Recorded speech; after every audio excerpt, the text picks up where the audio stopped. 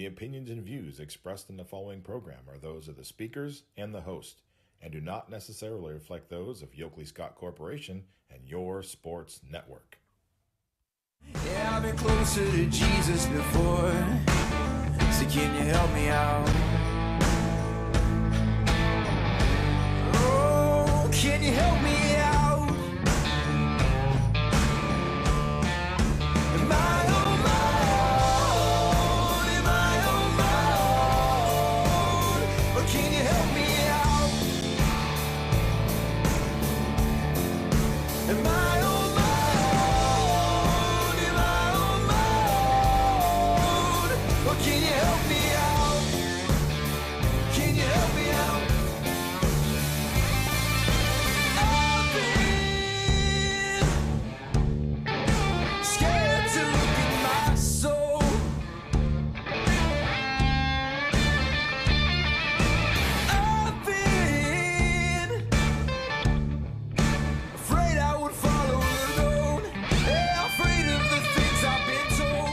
Welcome into a Monday edition of Running Point presented by Greenwood Chevrolet on Mahoning Avenue in Austintown. If you're in the market for a brand new or slightly used automobile, do yourself a favor, do your wallet a favor, and head on over to Greenwood Chevrolet on Mahoning Avenue in Austintown. They got a great sales department, a great service department, and a great finance department. And let's face it, you need all three. Seriously, you need all three. Sales department so they don't sell you a lemon, a finance department so you don't pay out the wazoo for interest rates, and a service department because, well, your baby's going to need an oil change, tires rotated, uh, and if you happen to uh, dent your car, well, uh, your baby's going to need fixed, and that's where the good folks at Greenwood Chevrolet on Mahoning Avenue in Austintown check in. Uh, Ron Potesta with you in my Penguins gear, Anthony Hartwig in his Royals gear. How are you, sir? I'm good. How about you? I, I can't complain. I mean, I uh, had a crappy week, uh, a weekend, I should say. I mean, it was uh, it was tough watching that. I was um, I had buyer's remorse, not really buyer's remorse because we didn't put any Skittles on this, uh, but you and I talked on Thursday. Hey, that Matsuyama guy. Um, he was fifty some to one. Why didn't we? Uh, why didn't we jump on him? And as it turns out, Hideki Matsuyama, tomo arigato. Uh, he wins the uh, he wins the Masters. Uh, yeah, that's uh, a really cool picture of him in his uh, green jacket today. Man, the, the, his ending to Saturday's round really propelled him to that win. Um, because he was seven under through like I mean maybe eleven, and he just went boom boom. The, the, the, last stretch of that round where he went from seven to eleven, and really took I I think a four shot lead into Sunday, really big, really big for him. Yeah, it was a. Um, it, it was certainly a, a, an interesting last couple of rounds, and it looked like after 16, he was going to fall apart. His lead was down to two shots, uh, actually 15. I beg your pardon. It looked like he was he was set to fall apart. Uh, Schauffele had uh, caught up to him and, and was two shots off the pace and was really bearing down. Uh, and then Schauffele put one in the drink, put another one into the woods, and wound up triple bogeying the 16th hole. Matsuyama wound up bogeying it, so the lead went back to four, and that that was it. It was clear sailing after that. Right, right, and and our guy that we both picked. Ooh, did he tank bad on Saturday? Wow. He had an awful what three or four holes that just Yeah, it was destroyed any chance he had. it was tough, and then he he just he didn't look good on Sunday either. So uh, it is what it is. Uh, it just then, uh, uh, you put Skittles on Patrick Reed, didn't you? no. No, I thankfully you I, did not. did because it was no, like thankfully I did not. But I did put Skittles on Schauffele Sunday. Uh, I, I said, you know what? I don't think Matsuyama's going to win this thing because he has a tendency in majors to blow up on Sunday. So I was like, you know what? I'm gonna, I'm gonna, I'm gonna Skittles on uh, on Schauffele. And I got to be honest, I for a while there I was like, okay, this this might work. Uh, and then 17, where he was the one that got blown up because he normally doesn't. He no- normally doesn't screw up. Well, early in the front nine, he had two double bogeys, which really uh, turned his round to crap. And then uh, in the back nine, he really struggled. So uh, it hit hit about four straight birdies to get to within two, and then on 16, it just fell to hell. How was your tally on the uh, the pick'em? I wound up with 60 points, which was Which nowhere near the money. during. That's what you had during the show on yeah, Thursday. nowhere near the money. I was as high as 90 points, which would have put me not in the money, but very close. So, uh, if, ideally, you would have thought someone would have gotten a huge payday. the The top prize in this was only 200 bucks because nobody um, nobody got anywhere close to the perfect score. Uh, I don't think anybody uh, picked Matsuyama, and if they did, they didn't pick the right score. Uh, he finished 10 under. I had 13 for the uh, for the uh, championship. So uh, it is what it is. Uh, Well, it was looking like he was going to have 13, no problem. The way he finished on Saturday, coming into Sunday at 11 under, is like, oh, I know. Man, he's going to take that and roll with it. But he didn't have a great Sunday. He didn't Yeah. have to because they didn't, neither did anybody else. I hear you on that one. All right, 330-886-0813. First, first Japanese man to win it. Yes. By the way, Yeah, and in a culture right now where uh, Asian Asians On- aren't exactly well liked, uh, the- apparently in this country. on the eve of the Olympics in Tokyo, Yeah, this is golf will be a part of. it. this is pretty cool. And by the So- way, if if you think about it, this guy's life is pretty much complete now because he can go back to Japan. Somebody told me he has at least a half a billion dollars worth of endorsements lined up, ready to go. Now that he's won the Masters, that's a that's crazy good. And then imagine how cool the opening ceremonies are going to be now when he walks out. For for you know the, the his you know golf. Oh, team. absolutely. he might carry the Japanese flag. Oh, I would I would hope so now. I mean, uh, hell, he might light the torch for, for the Tokyo Olympics. I mean, like Ali did in Atlanta. Uh, this guy is now uber popular in Japan now that he's won the Masters. I mean, he is uh, he's now the guy in in the country of Japan. And, and like I said, uh, there was talk that he got at least a half a billion dollars worth of endorsements from the uh, from the companies in Japan. So this guy's life is made all because he Not to mention played four money- good rounds of golf. Not to, not to mention the purse he gets for winning the Masters. Yeah, he got over two million dollars winning the Masters, uh, and he has to flip what ten percent to his caddy. So his caddy just made two hundred grand and change. So yeah, he's he's sitting pretty uh, right now. He could uh, not golf for the rest of his life and be. Well, I don't think he has to work the rest of he his could, life. He could do nothing. I mean, he, like I said, the endorsements alone, he doesn't have to work the rest of his life. Now he's half a billion dollars richer, and and uh, yeah, Well, that's what it it takes the pressure off, man. Oh, no Like, doubt. you don't have to go to win anymore. I mean, you want to win, of course, Sure. you're a competitor.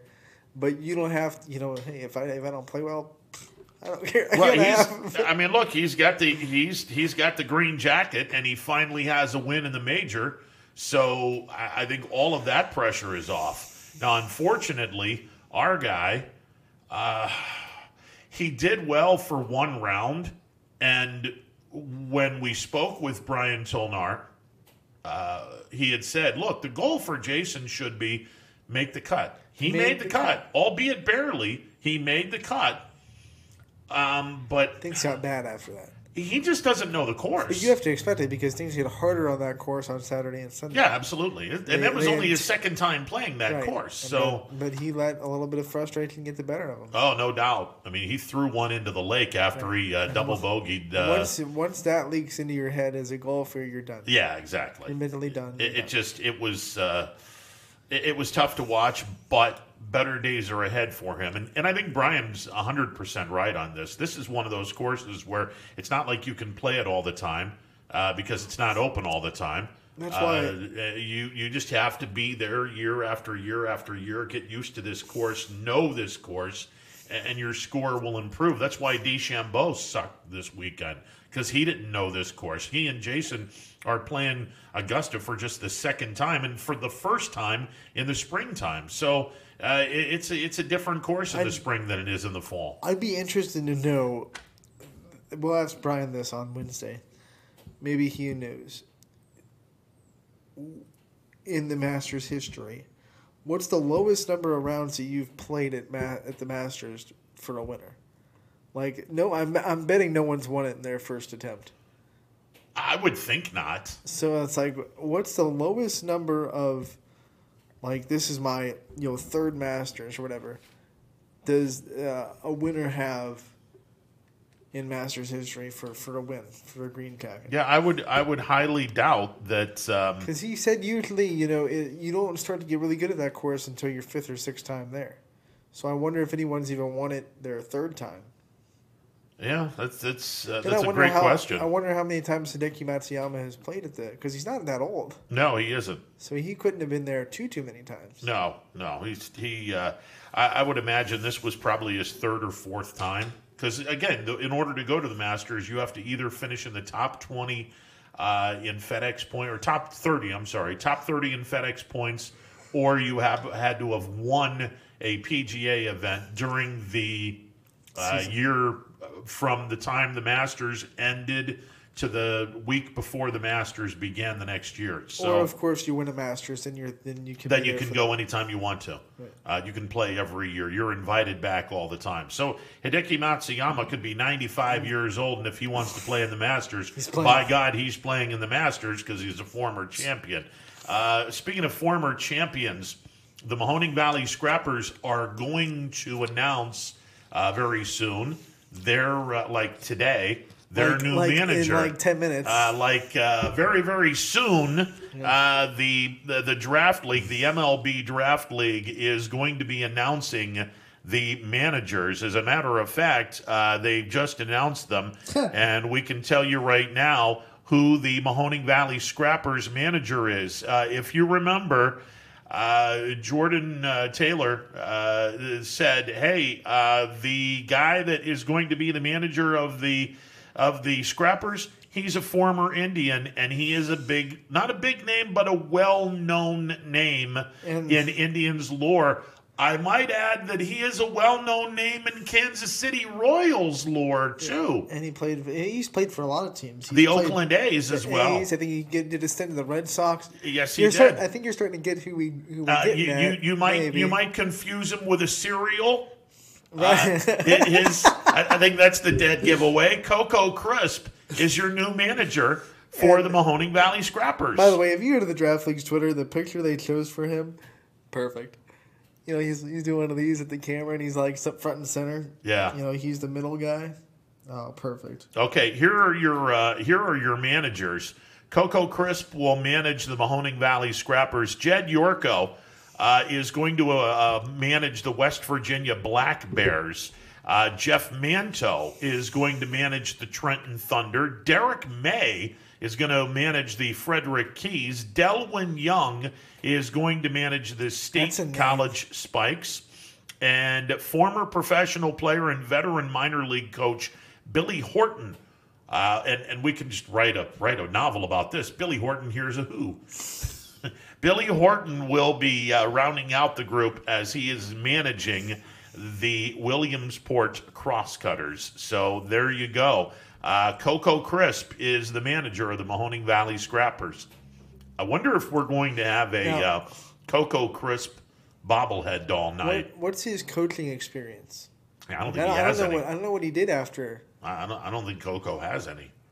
Uh, but I, I think the the whole thing with this is they wanted to get some former big leaguers involved in this, uh, and just try to have the players understand. You know, this is a guy that was in the major leagues, or or in Williamsport's case, uh, this is a guy that has a lot of uh, coaching experience. Uh, you got it. You want to listen to this guy uh, because he's been to the dance before. Uh, by the way, the Major League Baseball draft, 68 games, Major League Baseball draft league, 68 games, 34 home, 34 away. Opening day is May the 24th. The home opener for the Scrappers is May the 26th. The first 43 games will be played between opening day and July the 8th. The league will take off the 9th through the 14th for the MLB draft, which will now be held in Denver, Colorado. Uh, the um, Hey, we were right. draft is going to be uh, July 11th, 12th, and 13th. I, we were right with the with the with the teams he's played for. He's played for the Indians from 2002 to 2005. Also, one year in 2016, he came back to uh, Cleveland. Played with the Red Sox from 2006 to 2008. Played with Kansas City for one year in 2009, and he had the longest stint with the with the with the A's from 2010 to 2016. Nice. Chris led the American League. I mean, Chris, not Chris, uh, in stolen bases in 2011. So he knows how to. He'll probably be aggressive on the base pass. You would imagine I would hope. as a, as a man. I would hope. All right, so the uh, the play is going to resume. The, uh, the the draft league will resume uh, after the break uh, from July 9th through the 14th, in which the MLB draft is going to be held the 11th through the 13th. Uh, 42 of the first 68 games will be played prior to the draft. The final 26 games will be played. Final regular season game will be played on August the 13th. The season will be over by August the 16th uh, as I'm going to assume the top two teams will play a best of three series So- to determine the league champion. Just to answer my own question earlier, after retirement, 41 year old um, coach for his old high school, Shadow Hills High School in Indio, California, for two years. Uh, then he was on the Oakland Athletics broad, radio broadcast team as a game analysis in 2019, and he is currently serves as a bench coach for Cerritos College, which is in Norwalk, California.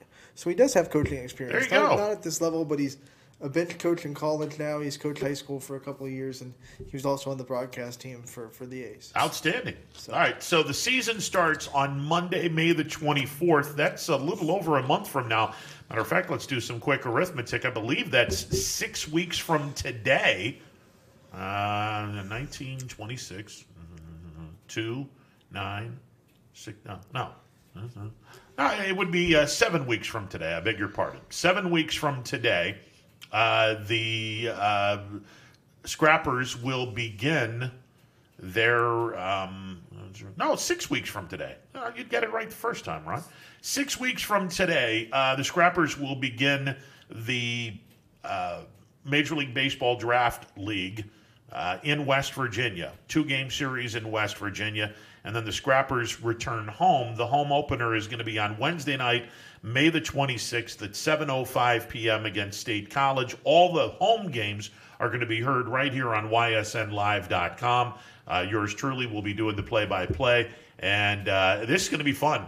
Uh, every Sunday when we're home, uh, we'll have our little uh, weekly to do with Coco. And uh, pregame, pregame show, we'll have interviews with various players. This is going to be an absolute blast. Looking forward to doing this. Hey, Coach's Corner with Coco Crisp. That's a nice has a nice ring to it. Coco's Co- Coco's Coach's Corner. Yeah. Yeah, say that three times quick. Coco's Coach's Corner. Yeah, Co- yeah, Uh, okay. that's- Yeah, yeah, all right, you smart ass. is. 330-886-0813, the MP Vivo heating and air conditioning hotline open for business. So there you go. Coco Crisp is uh, you know pour some milk on this guy on this season. It's going to be fun. He does have a ring, by the way. He Yeah, won with Boston the uh, Sox. 2007 Boston Red Sox. so- Indeed, indeed, they did. Uh, he did uh, with the uh, with the Red Sox.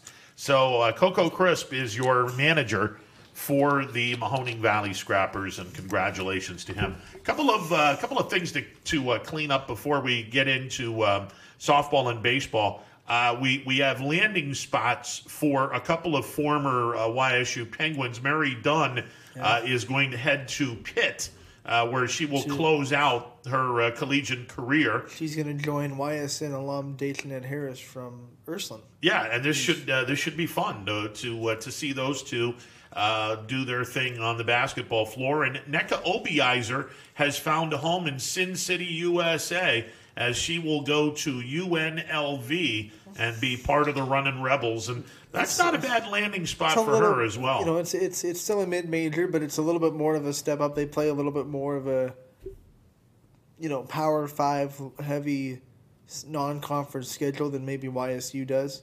Um, so she'll be up a little bit in competition, but still a mid major. So that's a good spot for her.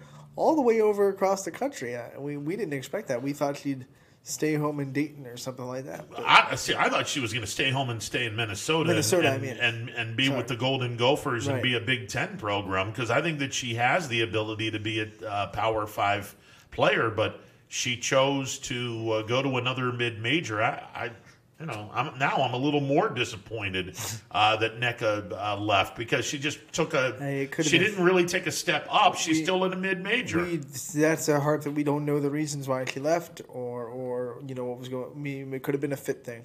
It could have been like she just wasn't fitting. She didn't feel like herself was fitting into the program, and she just felt like UNLV was a better fit. It couldn't. It, it might not have been just a I want to step up in competition, or I think I can do better at a Power Five. It might have just been I need a better fit. I, I need some. You know, it, it could have been something like that. So yeah. it's hard to speculate because no one is inside the mind in Nneka, so no one knows why she left. Heck of a Except her- talent. Except her and the coaches that, that she probably talked to and her family. Yeah. So, um, you know, we wish her the best, and, and I, I think she's going to make a name for herself over in Las Vegas. Yeah, heck of a talent, and she has four years of eligibility uh, for UNLV. So it's going to be just like getting it. Yeah. Okay. So she's running Rebel. Uh, so it'll be four years of uh, of playing for the running Rebels, and we'll see what happens there. So uh, good to see. Did, uh, uh, did- good to see her find a home. I feel like, did McKenna Peters say where she was going? I have not. Okay. I've not seen anything uh, regarding McKenna But Peters. I Chelsea Olson did say she was staying, yes. which was an announcement. Yes. So Chelsea Olson is staying at YSU. Yes. Uh, I have I have not seen where DQ is going, uh, Darius Quisenberry. I'm assuming that he's going to stay home and play with Dayton. Then again, we we uh, we might be wrong on that. Wouldn't be the first time. certainly, certainly wouldn't be No, the first time, and it sure as hell won't be the You, last uh, time. The, the manager announcement was off your radar because Oh, your he guesses was. your guesses weren't. Uh, you're weren't right, and I and I even told um, when we had the conversation with Jordan, uh, I I said, oh, "Look, off the record, who is this?" And then he explained to me, "You can't say anything until the text comes out." But he said Coco Crisp, and I was like, "Well, that's off my radar." He goes, "Why? Who did you think?" I said, "Well, Len Barker or Joe Charboneau." But they both coach, and I think uh, Len Barker's the head coach over at Notre Dame College, the D2 program in northeastern Ohio, up around Cleveland. Uh, so, yeah, it, it was certainly off my radar, but a great choice. Right. Uh, definitely a great choice. So uh, it was good to see Coco Crisp uh, uh, back in the fold as he will be managing the Mahoning Valley Scrappers uh, when we kick this season off six weeks from today. The Scrappers will be opening up the 2021 inaugural Major League Baseball Draft League as they take on the West Virginia Black Bears, who are going to be coached by Jeff Mantos, former Indian, by the way. Right. So there you go. All right, over the weekend, some uh, college or college. Well, we did have some college baseball. have some college We did have some college softball. We did. Hail to the Penguins! They're in first place. They took three out of four from Green Bay and and uh, first place Penguins. There you It's got go. a nice ring to it. Uh, absolutely, it does. Uh, we had some high school baseball and high school softball over the weekend. Uh, some some pretty interesting games that were played. Yeah, I I was at the uh, the the Poland triple header on Saturday where where Boardman kind of kind of showed out. You know, we were kind of wondering how Boardman was going to fare this year on the softball field. Uh, but they came in, they beat a Girard team that was pretty competitive in, in, in five innings, and then they went into extras with Poland and, and beat Poland uh, four to three. So, uh, very impressive showing from the Spartans on that day. Um, you know, after walking off Hubbard on Thursday, they, they're really carrying momentum into this week, so they should have a good week for the Spartans. I know I saw Hubbard take both games of a doubleheader from West Branch, which is making me really open my eyes and say, you know, Hubbard's going to be a very good contender inside that NE8 for softball. Uh, you know, you can't sleep on them because they, they haven't been there in the past, but now it might be a three horse race between Hubbard, Poland, and South Range. We're going to find out a lot because South Range and, and Poland are scheduled to play today. We don't know. I mean, rain is a, a high possibility, but as of now, scheduled to play today and tomorrow. Uh, South Range in Poland, so we'll see how that goes. Let's not forget about Lakeview either. Lakeview, Lakeview- girls are, are are not bad. Yeah, they're not I, bad. I want to see that that marquee win, like like the Hubbard against West Branch, that really says, okay, they can play at this high level and, and they're winning games. Uh, but but Lakeview's off to a great start. Maggie Pavlansky uh, individually for the Bulldogs, a really great start for for Lakeview. Okay, now, uh,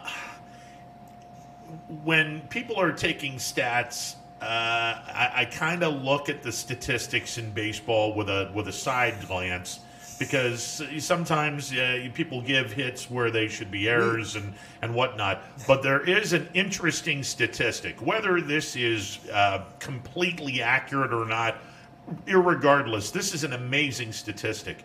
There are six kids right now in the Hubbard softball team that are hitting over 600. Right. That is ridiculous. And they went up against a really good pitcher on Saturday, by the way. If you, I mean, uh, so the, it's not like they've been throwing, they've been going up against you know scrubs in the pitcher's circle. West Branch has a good pitching staff, and they, they, they hit her pretty well too. So, um, yeah, their their their offense looks mighty impressive, especially not the power that you see from South Range in Poland, but the averages. I mean, the one the lineup there's no there's not a break in it. Um, so th- that's one of the more impressive things, and they can pitch pretty well. Yeah. Um, they can pitch pretty And well. they've loaded their schedule up. They played Massillon Perry earlier in the year. They Oh, yeah. played Boardman. They've played West Branch. They're going to be playing in this really tough NE8. Uh, they've loaded their schedule up pretty good. This is this. Yeah. I'm with you, uh, partner. I think Hubbard might be a team that you better you better look at uh, instead of just fi- uh, fixating on the the two powerhouses in the NE8, and and rightfully so, because Poland and South Range are both really good softball teams. Yeah, and one of the things that really for Poland what looked good is in the Boardman game they couldn't throw Katie McDonald again. They just couldn't do it. I mean, she had thrown every inning for them so far this year, and with South Range coming up on Monday, Tuesday, they just couldn't throw her twice in one day. Uh, Coach Sturridge just had to find someone else to start in the circle. They threw Cam Latanzio. She threw four innings pitched, only gave up two hits, two runs scored, but none of them were earned. She did a pretty good job in the circle against a, a really quality Boardman team, and that, that was the first time she'd pitched. I think she said to me after the game since she was 12 years old. So pretty impressive to, to go into the circle and just do what you're do what you're supposed to. No strikeouts. She pitched to contact and trusted her defense behind her, and, and that did a good enough job to, to get Poland into extra innings. Unfortunately, you know they lost four to three, but very commendable job from Latanzio in the circle to kind of give Katie McDonald a little bit of a break. You know, and I'm so glad that uh, there are kids that pitch to contact. That's not a bad thing. Yeah, when you know you don't have strikeout stuff and you just you just have to do your job, hit your spots, and, and pitch to contact. Uh, the velocity's not there, but that's okay. If, if you're hitting if you're hitting your spots, the velocity doesn't have to be there. Uh, and Latanzio hit most of her spots. Yeah, exactly. And, and and I think that, that people are so fixated on strikeouts. And okay, I mean it's a power. It's strikeout is the pitcher's equivalent of home runs for the everyday player. You you and we all want to see someone just go out and strike everyone out. Okay, I, I get We've that. but pitching to contact is not a seen bad thing, especially if you can locate your pitches where you know this person's not getting a home run off of this particular pitch. If I throw a ball knee high inner half of the plate, this ball won't leave the yard. There's no possible way anyone can hit a home run from knee high inside corner unless you know that that is coming and, and you guess that location. And usually, the strikeout pitchers are the ones that are more prone to give home runs away because they're the ones that you know focus on velocity and focus on just throwing it by people. And if someone times up that velocity, you know that, that can leave the ballpark in, in a in a long, long time. You know, in a quick time, I should say. So usually, the strikeout pitchers are are the, are the ones that are more prone to give up the long ball. No, absolutely. Uh, If you hang them, they'll bang them. Right. Uh, so you know, and and uh, if you're pitching to contact, kids that pitch to contact, they don't give up home runs. Now they may give up a string of hits, but they won't give up many home runs by pitching to contact because they know, okay, This area right here, it's a no-no. I can't put any pitch here because it'll get destroyed because I don't have the velocity some of the other pitchers do. And both teams' two pitchers on Saturday looked looked really good for them. I mean, Boardman had Kat O'Horo throwing in the circle against Girard. They run ruled them. She didn't allow a single run, and then and then Poland, like I said, put through their number two, uh, Cam Latanzio in, the, in their game against Boardman, and held a good Boardman lineup to two runs scored, and neither one of them was earned. So. Um, impressive. Uh, by the way, speaking of Kat Horo, uh, other than the one crooked inning scored by Poland in the fourth, she was dominant. Right. Uh, now, that crooked score or crooked number that uh, Poland put up was a three spot. Uh, they scored a run in the bottom of the seventh inning to put the ball game into extra innings. Boardman scored a run in the top of the eighth, and then uh, there you go. Right, and and it was one of those things where to come up in that bottom of the eighth inning, it was Mary Brandt and Katie McDonald one and two in that lineup. Well, one and two in that inning, and Mary Brandt had six home runs coming into that at bat, and Katie McDonald had five, and she struck out Brandt, I believe, and uh, got McDonald to ground out. So I mean, to get those two outs off the bat when your team takes the lead in the eighth inning, um, big big outs for for O'Horo and, and to, to come in relief because Lester started that game.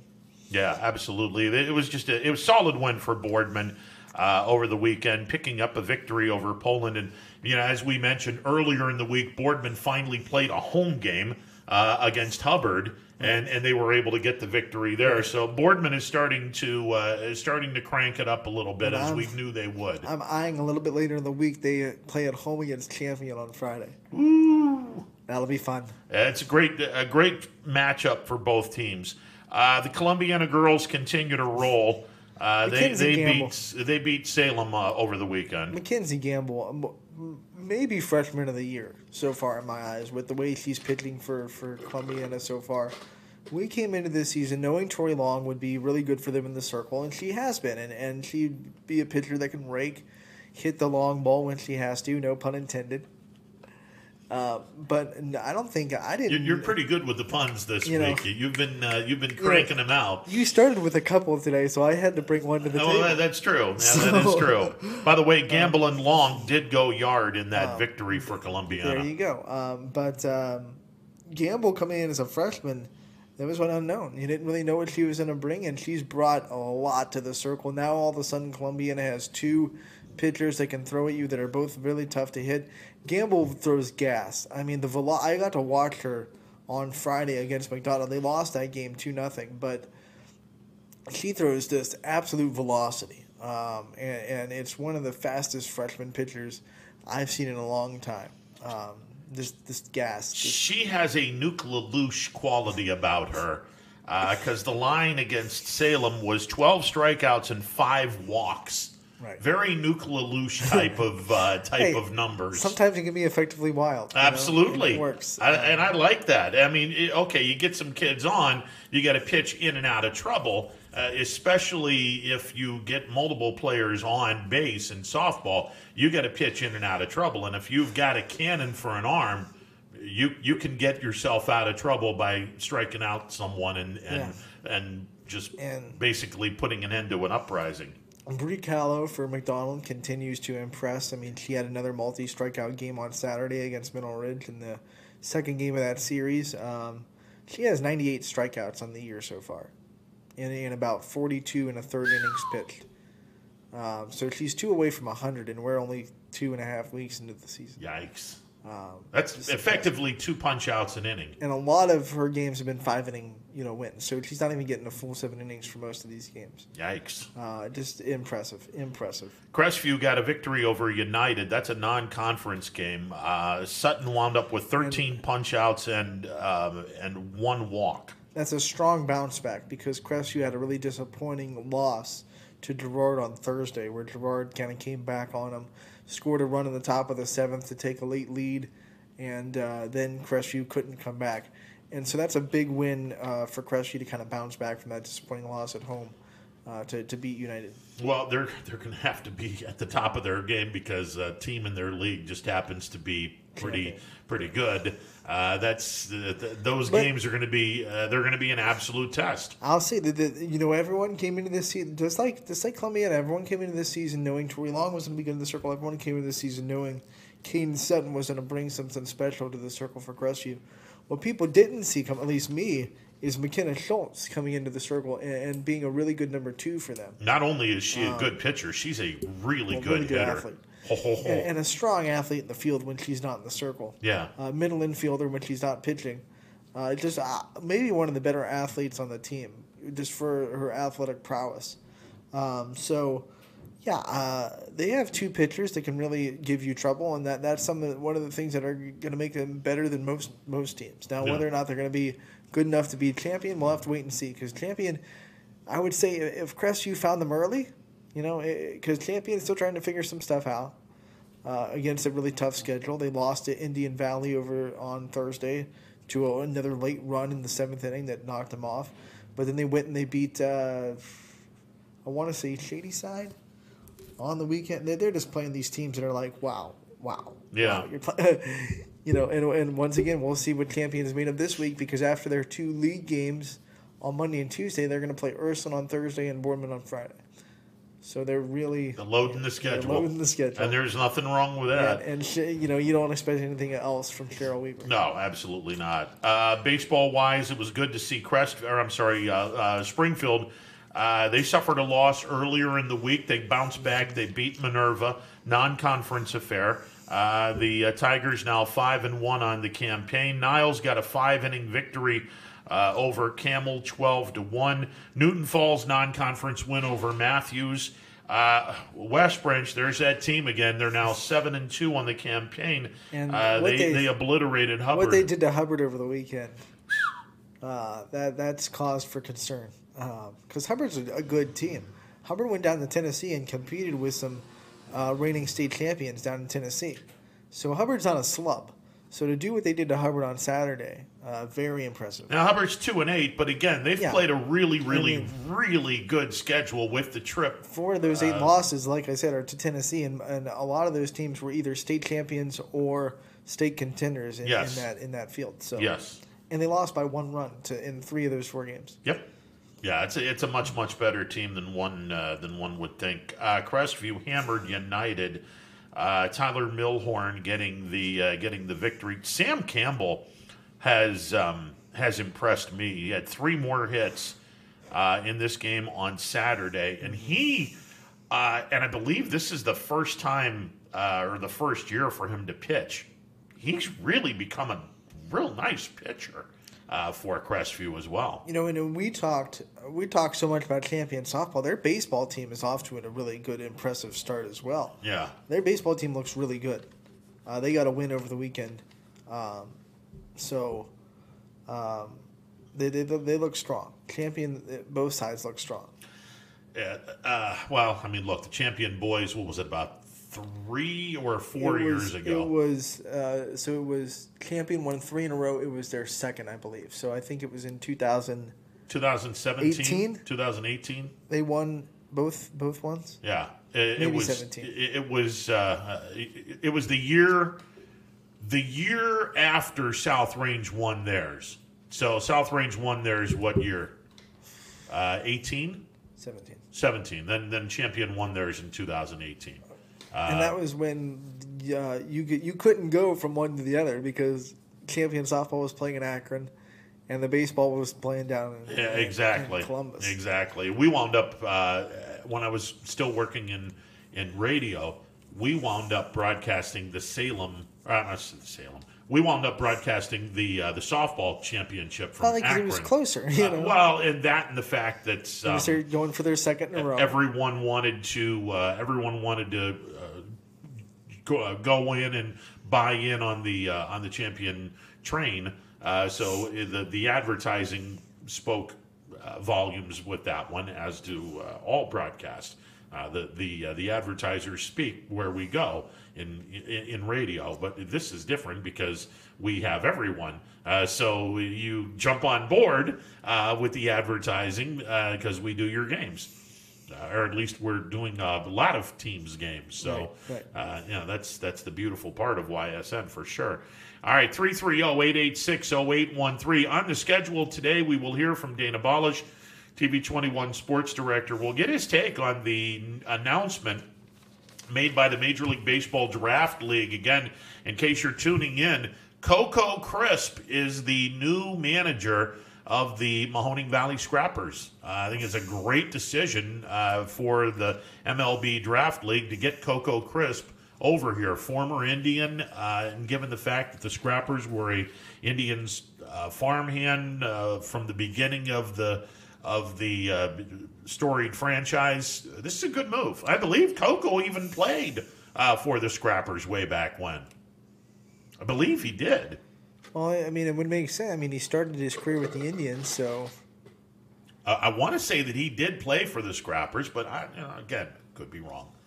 Uh, we do, will. we'll have to do some digging. We will hear from Dana Balish at 1 o'clock. Bob Hannon, the voice of the YSU football Penguins, uh, will be calling in at 2 o'clock. Uh, YSU, uh, they were good defensively, uh, the spotty uh, in at times, but unfortunately, uh, they they had a um, they had a hiccup on uh, on offense. Uh, the biggest of the biggest reason why was because of the fact that uh, uh, Mark Waid was not playing. Waid was out with an upper body injury, uh, and they turned to their backup quarterback Joe Craycraft, and uh, his receivers didn't exactly uh, give him a lot of confidence, uh, but he also threw some passes that were not good.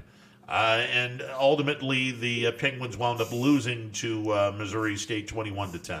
And you have to add all of that into consideration when they're playing a Missouri State team that is playing for their playoff lives. Yes. Uh, so you, you, uh, you combine all that, it doesn't equal anything good for, for Youngstown State. Yeah. Now the poor people in Missouri State, um, I, I, I really feel for That was the, their last game of the yeah, season, right? and, and I really feel for the person who came up with this idea because uh, it's going to be embarrassing.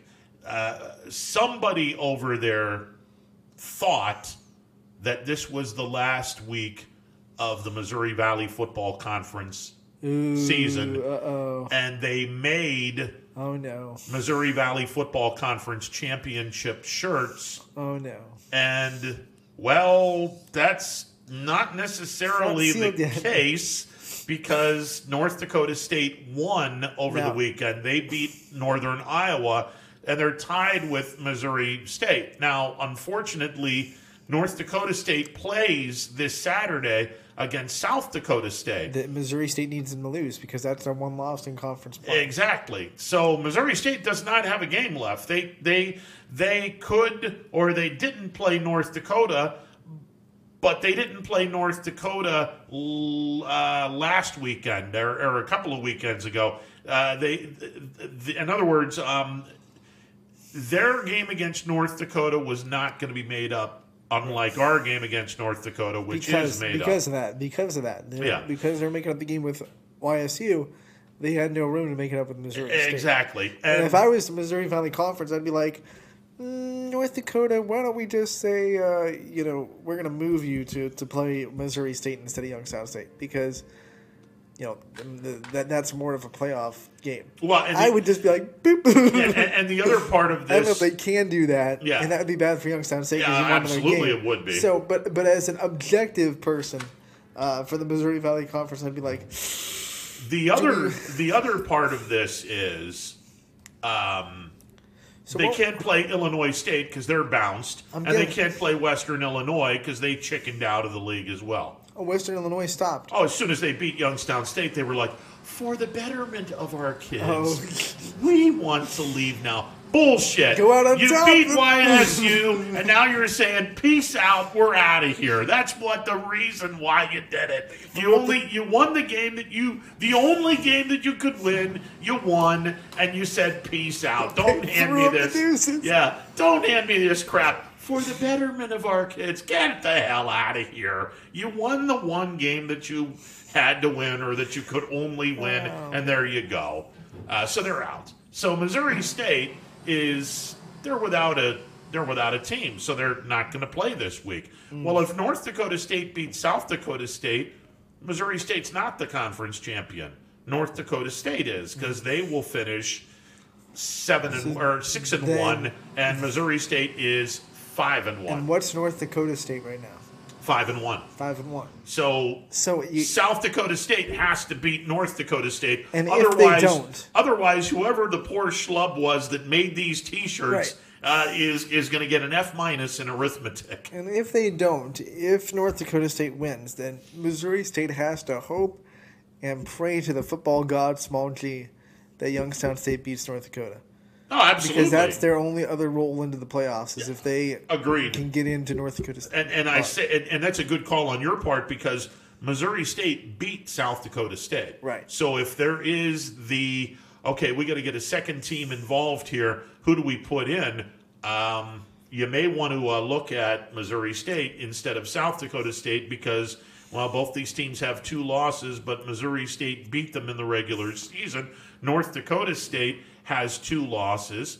They just lost to a one-win YSU team. Uh, so that would be an ugly look for them. So for Missouri State to win the conference, not only does South Dakota State have to win, but I imagine that also means the Youngstown State has to win too. Because, Well, because if South Dakota wins, then all of a sudden North Dakota would be six and one if they beat Youngstown well, State. North Dakota didn't play. Uh, th- those that they were canceled. Uh, the only Yeah, but they'd be six and one compared to five. no, they and would one. be five and one. They're right five now. and one right now, They're right? four and one right now. Okay. Yeah. So, So, Youngstown State's their five and one e- game. exactly. So then it would go to head to head, I imagine. Uh, not head to head with each other, but head to head in the And Missouri State did lose to North Dakota. Common opponents. Well, Missouri State did lose to North Dakota this North year. Dakota State. Not Oh, North that's Dakota. that's true. They didn't play North Dakota. You are correct on that. So it would go to common opponents, maybe. I guess it would go to the committee and say, do Well, we want to do we would- want a five and one team or a five and four team in the playoffs? Who would win the conference though? If North Dakota tied? State. No, no, no. If if South Dakota State won, North Dakota Oh, oh, State's see out of it, and then North Dakota won. So it would be between North Dakota and Missouri State. They would be They're both five and one. They'd be co-champs. They'd be co-champs. There's no tiebreaker. There, there would be no tiebreaker. That's they would silly. be co- no, there, there should be some kind of Well, you, tiebreaker. you know that there's not. Uh, it, it would be. It would even be if a- it's even if it's unfortunate enough for Missouri State to just be overall record, then North Dakota State would win because they have a better win percentage. yeah. I can't imagine that Missouri State's going to be a playoff team anyway. Because Well, they they are if South Dakota State wins, because then you say, hey, five and one in the league. We're not. I, I I refuse to hold the games that they played in the fall against them. I don't just- know if the committee's going to especially when one of those games is against Oklahoma. Well, that's true, and I and just- the other two are against Arkansas State or uh, Central Which is a Arkansas or whoever the hell the Arkansas team was. It wasn't the Razorbacks. It was one of the other Central Arkansas. I think it was. Central Arkansas. And they played them twice. So it's just like uh, Uh, uh, look, I, uh, Bob Hannon uh, made this point, and I agree with him. Bobby Petrino, say what you want, and look, he's only at Missouri State because he's got a bad reputation uh, throughout Division One and the National Football League, uh, and he's got a lot of fences to mend. So he's trying to rebuild his his um, reputation as a college football coach. I'm going to tell you what, as far as I'm concerned, he's the coach of the year in this conference. absolutely. And when you're when you're picked to finish last, and you come into this weekend with a chance to win the conference, then then that's coach of the year in my opinion. Absolutely, I, I agree with you. Well, Missouri State knocked off the Penguins, uh, twenty-one to ten. We made mention YSU. Uh, the softball team is in first place uh, after a doubleheader sweep of Green Bay. They're one game better than Oakland and Green Bay, if I'm not mistaken.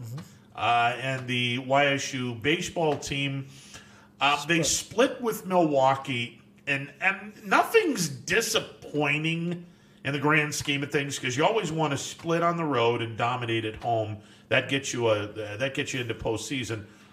But when you win the first two games of the series, I kind of wanted to see YSU take three out of four and say, okay, we're leaving Milwaukee, the second best team in this conference.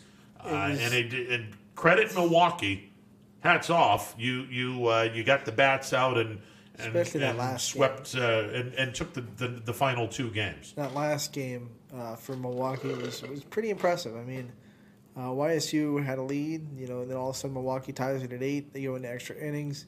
Got the walk off granny. Walk off grand slam. So, Yeah. um, you know, hey, to bounce back from losing the first two and, and split with a good YSU team, like you said, tip the hat to Milwaukee and move on to the next weekend. Yeah, and so they're, in uh, third place, one game out of Milwaukee, uh, where we started uh, before the weekend began. Uh, they're they're back where they started. Uh, you know, again, I, I would have liked to have seen the, uh, the the Penguins take three out of four. Would have been nice to have them at twelve and eight, and Milwaukee at eleven and nine. Unfortunately, that's not the case. There is a dogfight for. Um, uh, third, fourth, and fifth place right now. Uh, Northern Kentucky and UIC are both nine and ten. Uh, Purdue, Fort Wayne, and Oakland have not played, uh, and uh, Purdue, Fort Wayne didn't play over the weekend because Wright State now has a COVID situation, uh, so they're they're done for two weeks. So their four game series with the Mastodons wasn't played. Their four game series with Oakland this week uh, will not be played. Oakland uh, went non-conference.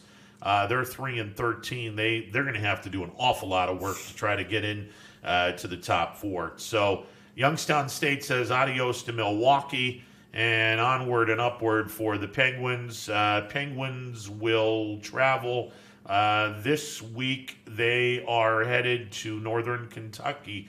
This is a huge four-gamer against the Norse uh, from Highland Heights, Kentucky. We talked about it last week. More important than trying to chase the top is keeping the people below you below you.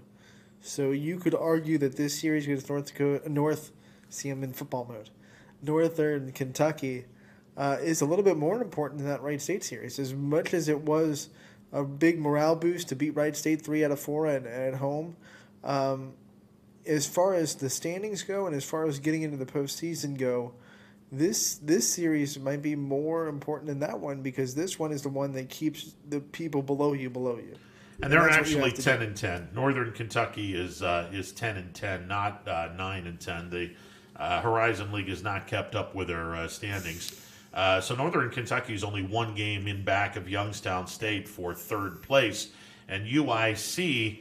Uh, I, I'm going to take a look here real quick. I believe UIC is nine and eleven. Yeah, they're nine and eleven. And YSU took three out of four from them, right? Yes. Yeah. So uh, Northern Kentucky's in fourth place at ten and ten. North uh, UIC is in fifth place at nine and Who- eleven. Who's so UIC playing this uh, UIC is playing, I believe, Milwaukee. Let me look here real quick. Uh, they are playing um, the the Mastodons. I beg your pardon. They're playing the Mastodons, Well. and then they and then they play uh, Milwaukee. If you can win this Northern Kentucky series and the Mastodons maybe let's say split with UIC, that's big because that'll put that'll put distance from YSU from both those teams. Yeah.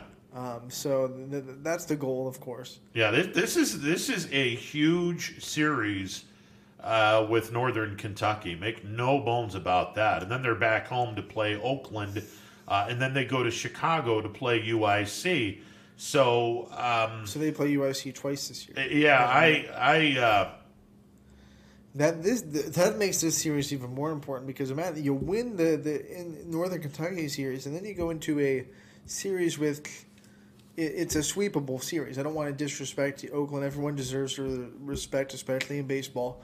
But it's a series where you can go in with the goal to sweep against the three and Absolutely. Oakland Grizzlies. yeah, absolutely at least take three out of four. But So- your, your goal is to sweep that series. Right. So you can win seven out of the next eight, and and that would be huge to try to solidify that three or, or even get into the two. No, no question. And and again, trying to stay in the top four, that is the goal for this program because the top four teams in this league will go to the postseason. Uh, so uh, this is a huge series. Make no mistake about that. Uh, after splitting with Milwaukee, Penguins are just one game ahead of Northern Kentucky, and they get the Norse uh, this weekend. And we'll chat with the uh, the manager of the YSU baseball team uh, you know, Dan Bertolini tomorrow, and we'll we'll talk about this because the the road gets pretty interesting this week for sure. But the YSU softball team, man, uh, this is this is a fun year. Their- Uh, their it- it pitchers- first place, and, and they're doing really well. their pitchers continue to shine. Uh, you know, they're, they're pitching so well. Uh, their hitting is uh, decent. It's it's enough. You know, three three nothing, two to one. Those are two pitchers duels that you're able to win on Senior Day. By the way, on Saturday, uh, they, they looked very impressive. Very impressive. You know, the last time the YSU baseball and softball team each had winning records, you got to go back about 16 or 17 years. and you know they they're pretty close to doing that this year. Yeah, absolutely. Um, this is this is a good time. It's a good time to be a baseball fan or a we softball kind of knew fan that coming in. We came into this season knowing both these teams had legitimate chances of winning the Horizon League. No, absolutely. This So- this is uh, this has been a fun year uh, in the springtime for uh, for YSU athletics. It's And- uh, it's been a good year. especially in the softball team because we have a couple of YSN alums that are, are doing pretty well on that softball team themselves. So Yeah. when you see local talent uh, uh, succeed at a high rate, uh, that's always good for, for local morale and, and it's good for Brian Campbell to be proven that lo- local talent can succeed at the Division One level. So he's going to keep recruiting in the area. And same for the baseball team. When they, when they see local talent succeed, then that tells them that they can keep recruiting in this level at this area because this area provides Division One level talent. And and it's really nice to keep as many of those local athletes to stay home and and uh, go play college for a Division One school. And you know, this this conversation has been uh, talked about long and long and, and longer. Uh, but it, it's not. Sometimes it, it's either not a good fit, or the player from around here says, you know, I want to go away from this area and I want to spend my four years or however long it takes to get my uh, college degree. I want to go away from this area and see what life is like outside of the bubble that is the Mahoning Valley. There's Right. nothing wrong with that. And, if you want to go far enough where you get the college experience, but not so far that you're, you know, you can't get home in an emergency kind of situation easily, then there are a, a couple of Horizon League teams that are perfect for you to land on. Sure. Unfortunately for YSU, you know, you hate to lose local talent, but you really hate to lose it inside the conference. But you can really lose it to Wright State because they're close enough. They're in that range. Um, Robert Morris, Robert Morris is in that range. State. Cleveland State's in that range. So uh, it's it's not it's not exactly easy to recruit. Uh, in the- Northern in the area. Kentucky's in that range. right? You know, Northern Kentucky's only an extra hour from Dayton. Yeah. So Yeah, if you can go to Wright State, there's no reason why you can't go to Northern Kentucky. Absolutely, and, and you know, I mean, again, I mean, it would suck that these kids would stay in the Horizon League and play against Youngstown State once or twice a year, but you know, if you wanted the full college experience, there you go. All right, Dana Balish will be coming up next. We'll uh, chat with Dana. Lots of things to uh, talk about. Again, uh, the Mahoning Valley Scrappers have a manager. He is a former Indian. He's a former Royal. Uh, he's a former uh, Red Sox, former Red Sox. He's a former athletic, and he loves Cocoa Crisp. and he's a World Series champion. Indeed, he is, uh, and he's a cereal guy. And he's Cocoa Crisp Stop is it. your uh, is your uh, manager. you're beating the heck out of that joke. yeah, well, I know, but I mean, it, it's just it's the You're gonna- truth. You're gonna run out before the season even starts. Uh, well, I'm not, I'm not going to say it to his face. Save I mean, yourself. Yeah, I'm not going to say Save that. yourself. I'm not going to say that to his face. I'm Save just it. saying. All right, Dan Balish is coming up next. Uh, we will talk in a bit with the dean of sports directors, television wise, in this market. Stick around. New things happen all day. Some are good, some not so good. In today's complicated world, while you're busy working, playing, and living life, we're busy helping you make sense of the day's news. And there's only one place where it comes together with clarity, context, and accountability.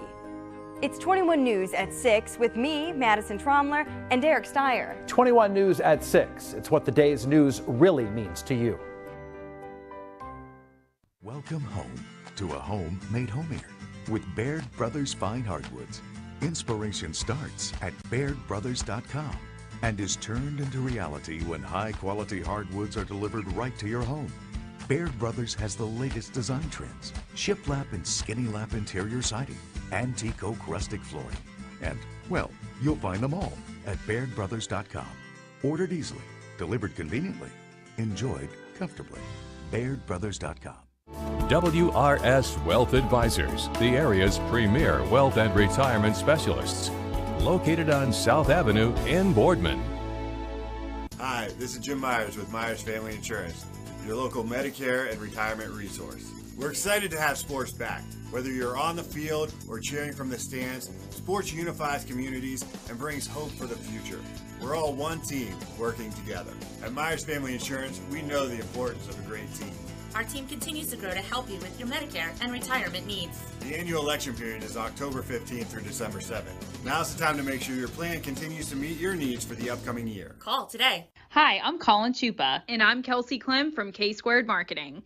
Our boutique marketing firm specializes in media planning and buying, public relations, event marketing strategies, and strategic sponsorships. We can integrate our services with your existing game plan, or we can be your entire marketing team.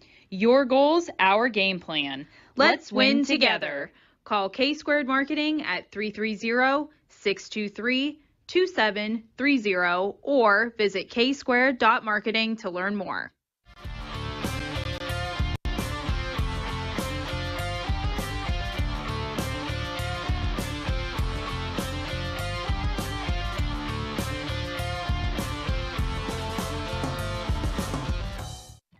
Chevrolet, Hubbard can help you get the financing you need, regardless of your situation. I'm Tony Page, and I've helped thousands of customers in Northeast Ohio and Western Pennsylvania buy a vehicle. Bad credit, no credit, no problem. I can get you approved for a low interest loan and maybe even a low payment lease on a new car at the number one Chevy dealership in Trumbull County for three years in a row. Visit HubbardChevy.com to get pre approved or come see me, Tony Page, to get a new vehicle today. Remember, folks, Hubbard can help. Welcome back to a Monday edition of Running Point presented by Greenwood Chevrolet on Mahoning Avenue in Austintown. Ron Potesta with you alongside Anthony Hartwig, and we are joined as as we are every Monday at this time by TV 21 Sports Director Dana Balish. Dana, how are you today? Uh, doing well, Ron. I, sometimes I feel like a stale leftover marshmallow Peep. Uh, do do tell. Do tell. Do tell. I, you know, it's just a dreary Monday, and uh, you know, just kind of one of those days. Well, listen, I mean, uh, you're you uh, if you feel like a marshmallow, you can think about possibly being a part of a of a s'more, and maybe that'll make you feel better. Very well could be the case. hey, uh, Coco Crisp, the new manager for the Mahoning Valley Scrappers as we get into the 2021 inaugural Major League Baseball Draft League. And, you know, I was told by uh, Jordan Taylor, the general manager, prior to this announcement that uh, it would be a name known by Indians fans. Mission accomplished. Yeah, you know, and I, I have to give credit for this uh, Major League Draft League run. I mean, they got some pretty well-known names: Jedd Gyorko, uh, Jeff Manto, former uh, former Indian, Derrick May, Delwin Young, Billy Horton. So, those are some names from the past, uh, you know. But uh, certainly, uh, Coco Crisp is one of those as well. And uh, I'm pleasantly surprised uh, of, of the list of managers, you know, who who I've seen when you look at the, the hiring of Coco Crisp and, the, and all these names that you just said, do, do you think that gives a, a little bit of um, legitimacy to this draft league that, that maybe MLB uh, really wanted to, to see some legitimacy and some players that have really succeeded in their career and have had really strong careers um, in the MLB to come and, and, and coach these teams? Well, I, I think first of all you got to look at it this way: all these teams were affiliated with major league teams, and they are no longer affiliated with with major league teams. You know, the the Scrappers and the Indians were together for 21 years or 20 years, and I think you know to to kind of get that back, you know, so fans feel you know they're part of Major League Baseball. Uh, you know, you had to you had to get some names that people were familiar with, and certainly I, I think they did a good job with the scrappers in, in getting Coco Crisp. I mean, he's going to come from the West Coast. Um, you know, now whether people are going to come out and and uh, you know watch games, uh, I, I think that's still yet to be determined. Um, you know, I, I think you know, at this level, you know, I think it's entertainment values, and I'm sure the Scrappers will do a great job with the entertainment value. But, um, you know, I think being an Indians affiliate, as the Scrappers were for the last 20 years, I think that played a huge part in people going out there. Now, will that continue? I, I think that's still to be determined. Um, but I, I think this is a step in the right direction. I think it's going to be a better brand of baseball in that most, if not all, of these kids that are going to be taking part in this league are going to be drafted. Uh, they're just all trying to trying to get themselves a higher draft pick so they can get a higher bonus and they can get paid more money uh, in terms of bonus uh, as concerned. But um, I, I think there's a really good chance this becomes a better league talent wise up and down the rosters. Okay, and, and again, I'm not the smartest bulb in the package, and, and I, I'm not going to doubt that, but I, I guess my question is, you know, when this league opens six weeks today, which is, um, you know, May 24th, these guys are going to play, and, and, and I believe the draft is the week of uh, July 12th. So so what happens in the final four weeks of the season if these players are drafted? Do they stay with this team? Do they go to their team they're supposed to? You know, that I, I think there's some, you know, and again, I think that's some questions that we're, we're just not sure. Um, you know, what happens to these players? Um, you know, if they are drafted, uh, do they leave immediately? Do they not leave? Uh, and again, I, I think you know, there's we need, and again, as this get, draws closer, I'm sure we'll get clarity on that. No, I agree with you, Dan, and and I think that uh, I would hope that the draft league and those in Major League Baseball are going to suggest. Uh, you can't order the 30 franchises to do this, but I would hope that they would suggest that the 30 franchises who draft these players would just as soon leave the players in this draft league, let them get their feet wet, uh, finish the season out, and then in 2022 everyone would begin their professional career probably in low A ball or high A ball if they uh, dominate in the spring training of 2021. Uh, but I'm with you. I, I, think I think this is going to be very interesting once the draft is complete and these kids ultimately sign with their team. All right, where do they go? Do they stay in the draft league for the rest of the year? Uh, does the Major League Baseball team that drafted them say, "Okay, we've signed you. Get out of this league and let's uh, let's get you to your your first home on your stop to Major League Baseball"? I don't know how this is going to work, and, and I hope Manfred and the geniuses. I use air quotes when I say that, uh, in New York are going to strongly suggest to the 30 franchises hey, when you sign this, when these kids, keep them in the draft league through the end of the year. When their when their season is over, they're yours. Get them in instructional league. Get them into uh, get them into low A ball if you think that they can uh, help a team out the rest of the the rest of the way. Well, the other question, Ron, that I have is what about what about you know young men in college who are in the College World Series? You know, I, I don't believe that tournament starts until the 26th of May. Um, you know, what what happens with those players? Uh, you know, I mean, those players continue playing. You know, in college. Oh, yeah, they'll be in college until their college season is over. But, but then, okay, then my point comes. Okay, so you know, let's say you know someone you know after they're eliminated, you know, can they become part of it? I, I, I again, I just think there's some questions that I, you know, I, I'm sure, just not sure how this is all going to work and where these players are going to come from and and so on and so yeah, forth. Yeah, once once the players' college team has been eliminated from the postseason, they would then be eligible uh, to join the team that uh, ultimately drafts them in this draft league. I, and and I understand that. Now, what's this mean for high school players? Now, you know, are high school players are you know are they going to skip this entire draft? Are they going to skip this league because you know, let's say a high school season ends in in May? Uh, they're not you know, their eligibility, you know, uh, I mean, there, I, I think there's just some questions that, you know, we're, we haven't been, you know, fully cleared on, on answers yet. Well, the, the high school, the the, the uh, draft eligible kids from high school that get invited from uh, Prep Baseball Report, my my guess is they're going to be allowed to take uh, to take part in this league uh, because they're you know like the college kids, they're going to want to improve their draft status. But all of this is based on uh, whether Prep Baseball Report in, uh, invites you or not, because they're the ones in charge of getting the, the talent. But yeah, they, they once their high school season is over, once they uh, once their team uh, has been eliminated and their high school baseball season is over, uh, then they would automatically uh, come on board and play in this league. If they want to. If they want to, exactly. They could they could decline the invitation. Absolutely, they could.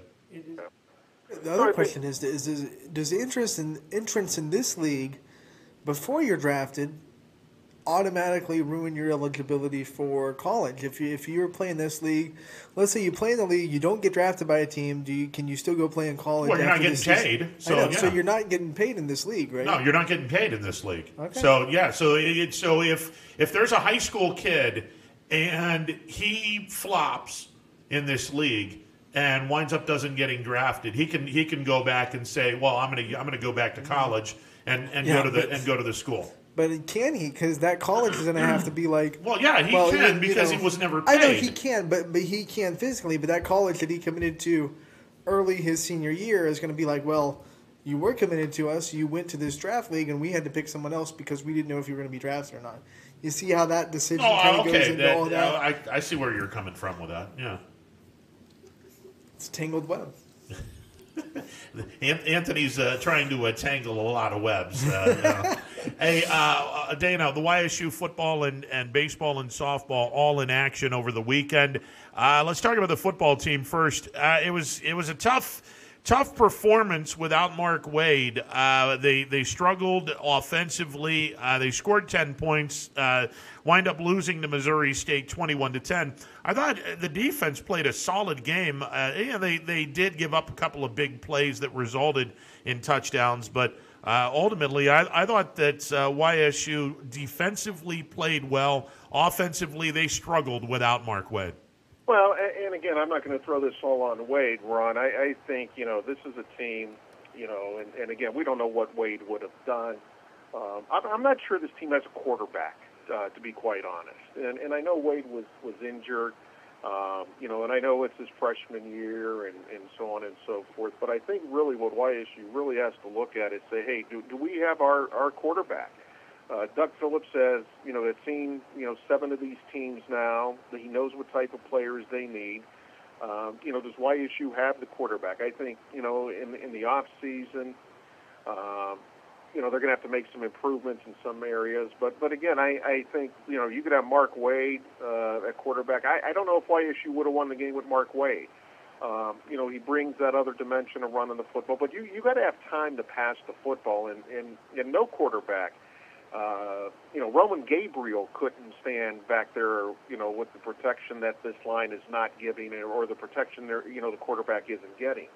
Um, you know, the, the the offensive line has made improvements from week one, but I think, you know, if, look, if you got five guys blocking, you're sending six guys. I mean, you know, you're going to get to the quarterback, and and and again, um, you know that that's that's you know the the game plans that they have. I I just don't know. I think there's a lot of questions. You know, and and, and Ron, I guess, you know. I know you have one more game left, but it, it almost appears there's more questions now than there were in the beginning of the year.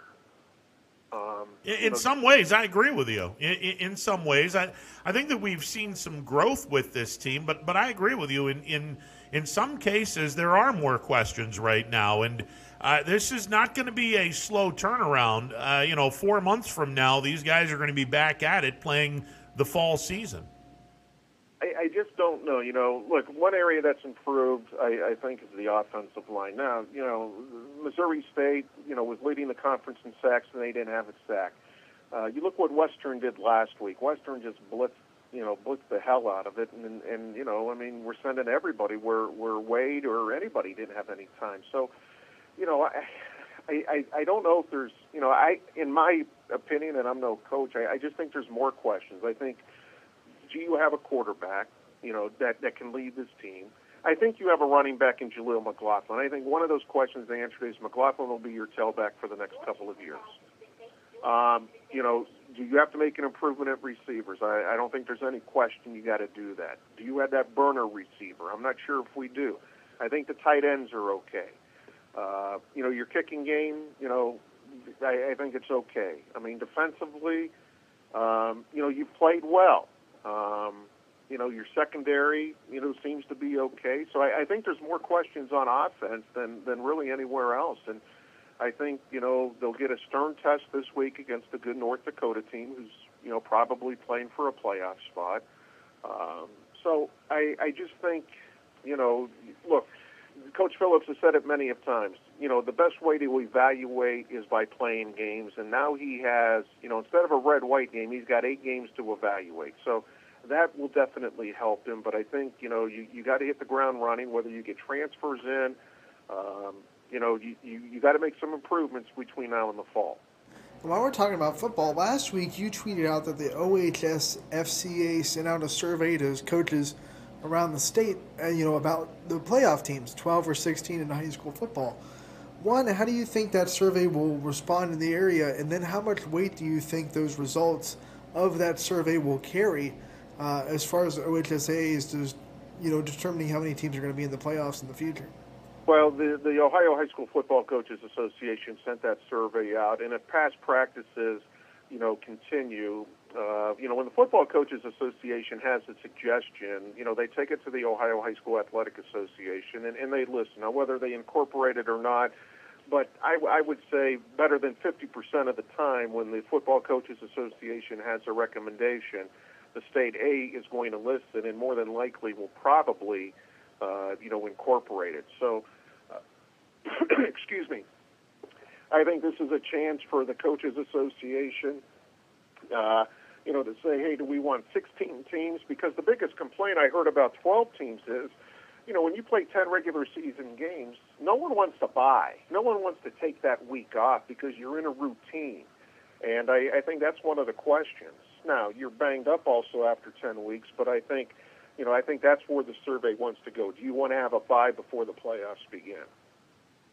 All right, Dana. Obviously, last year, um, because of COVID, the OHSAA said, "All right, we're going to uh, limit the season to six games, and then we're going to invite the whole state uh, to uh, to take part in this." Is there a way, and has the OHSAA internally, in your mind, or in in uh, in your view, thought of let's let everyone play eight games and then continue with this. Everyone in the state of Ohio is invited into the playoffs because you can end the season at the same time that you would end a regular football season, first week of December or second week of December, if you decide to play eight games and then let the entire state take part in the playoffs. Ron, I think first of all, the bottom line of the Ohio High School Athletic Association. I shouldn't say the bottom line. One one of the one of the goals of the Ohio High School Athletic Association is to make it fair and compatible with every institution in the state, every high school in the state, be it public, parochial, or, or private. I think coming off the year coming that the state is coming off, the reason they're kind of looking at this, or the coaches association is looking at this or better yet, the Ohio High School Athletic Association is because they lost money. And, and I hate to say it, but money's the bottom line. Money is what makes the engine go. So if you take out the buy and you put in playoffs, and, and again, I, I don't think everybody being in the playoffs is something that's on the table right now. I think, you know, the, the 12 teams of what they want to do or maybe expanding that to 14 or 16 or whatever. Um, look, if you have 12, you're going to have buys, so you got to take it to 16 if you want to continue the playoffs. But you got to you got to move up the season another week. Now you're beginning this season, you know, August 20th. Um, you know, with the with the bye week. So I think the state is looking at a couple of things one, they're looking at how can we recoup some of the money we lost, and and, and that's fair. I, I don't I don't think there's a problem with that. I, I think every company that is trying to do that, and two, can we handle it? Now you handled it last year pretty well, but there were some, you know, there were some. It wasn't perfect. Uh, it certainly wasn't perfect. So I, I think they're going to look at everything. I think what you'll see is before everybody getting into the postseason, because I don't think they want to take away the the 10 game regular season. Um, you know, conference championships are still important to some institutions, to some leagues. I think the goal of reaching the playoffs has superseded that. But I think you'll see the playoffs perhaps go to 16 teams with no bye. But again, you know, you, you got to look at when the season starts. And you're starting August 20th, and I I can't ever remember this football season, the regular season starting that early. Yeah, and and now you know when you look at the season and how it would lay out. I mean, there, I'm sure expanding the playoffs would open up a couple of questions and a couple of things that a lot of people don't even think about that it would open up, and there would be things that they would have to navigate if they were going to expand the playoffs and, and change the season schedule. I, I don't think, you know, and again, I think what they did in 2020 was was a great thing. Okay, if you didn't go to the playoffs, you could still play your allotted 10 games, and, and I, I thought that was a great idea. I think in in normal situations, you know, the Ohio High School Athletic Association wants to make sure that everything is is is fair, everything is is you know, and and again, what you have to keep in mind is you know, the seedings for, for the for the state playoffs were all done by the coaches association. In normal years, it's done by the Harbin system. You know, the computer rankings. So, you know, do you get a fair assessment with the computer rankings with eight games? You know, probably. Um, but you know, you never know. I mean, you never know what can happen. Um, you know, I, I I think the door's open on a lot of things, but I think having each team, you know, having the option to go to the postseason, I think that's something down the road um, you know, maybe maybe not at the top of the hill, maybe over the hill a little bit, and I still think they're they're climbing up the hill to kind of see what they want to do with the postseason. I think the the detractors of 16 teams, and and they would be the same as the detractors of the 12 teams. Uh, listen, we already get enough blowouts in one versus eight and two versus seven. Uh, imagine what it's going to be when one plays 16, two plays 15 three plays 14, you'll have blowouts all over the place and mercy rule games all over the place in the first couple of weeks uh, well, of Ron, the tournaments. I don't know, you know, again, now now in 2020, the coaches, you know, did the seedings by by a virtue of vote. You know, now if you stay with the Harbin system, yeah, you're going to have that. But I think if you do it geographically, kind of like what the coaches association did this year, I, I you know, you're still going to get some of those, but maybe not as many as as you know. I, I mean, look, I, I think what they did last year, you know, in in the situation they were in, they did a remarkable job. To be quite honest, I, I thought I thought the state, the coaches association did did a great job. You know, now, if you go back to the Harbin system, you know, yeah, you're going to have one in 16. You're going to have mismatches. So I, I think you got to say, okay, if we're going to go one to 16, then the coaches are going to vote on it. We're not going to have the Harbin systems anymore, and, and leave it at that. Now let's talk about uh, like get back to YSU. The baseball, softball teams both having successful weekends. You know, we, we talked about it before you got on. Baseball, when you win the first two, you kind of expect to win the series. They had to settle for a split, but still, you go into a road series and you want to at least split. So I would say a successful weekend for the baseball team. Softball team takes the uh, Horizon League lead with a three to one win over uh, Green Bay. Great weekend for Youngstown sports. Even the bowling team was in the Final Four. They couldn't uh, win the Final Four, but they they competed in the Final Four. So a great weekend for YSU sports. Yeah, you know, and again, baseball's playing well, softball's playing well. I mean, the bowling team, uh, you know, uh, I learned a lot about bowling last week with Baker games and that sort of thing. Certainly, uh, you know, when you go to the Final Four, uh, you know, that's the first time in school history a team has ever done that. Um, you know, baseball's playing well. You just hope the weather doesn't interrupt anything, you know, in, in this week, and you uh, try to get that top seat so you could host the Horizon League Championship games. Dana, before we let you go, I know you're a huge Browns fan. Uh, Jadeveon Clowney reports coming out of Cleveland are he's going to sign with the Browns uh, as early as today. Now, that might be a fictitious report because uh, someone from the NFL Network uh, is reporting that Clowney may not even meet with the Browns until Wednesday.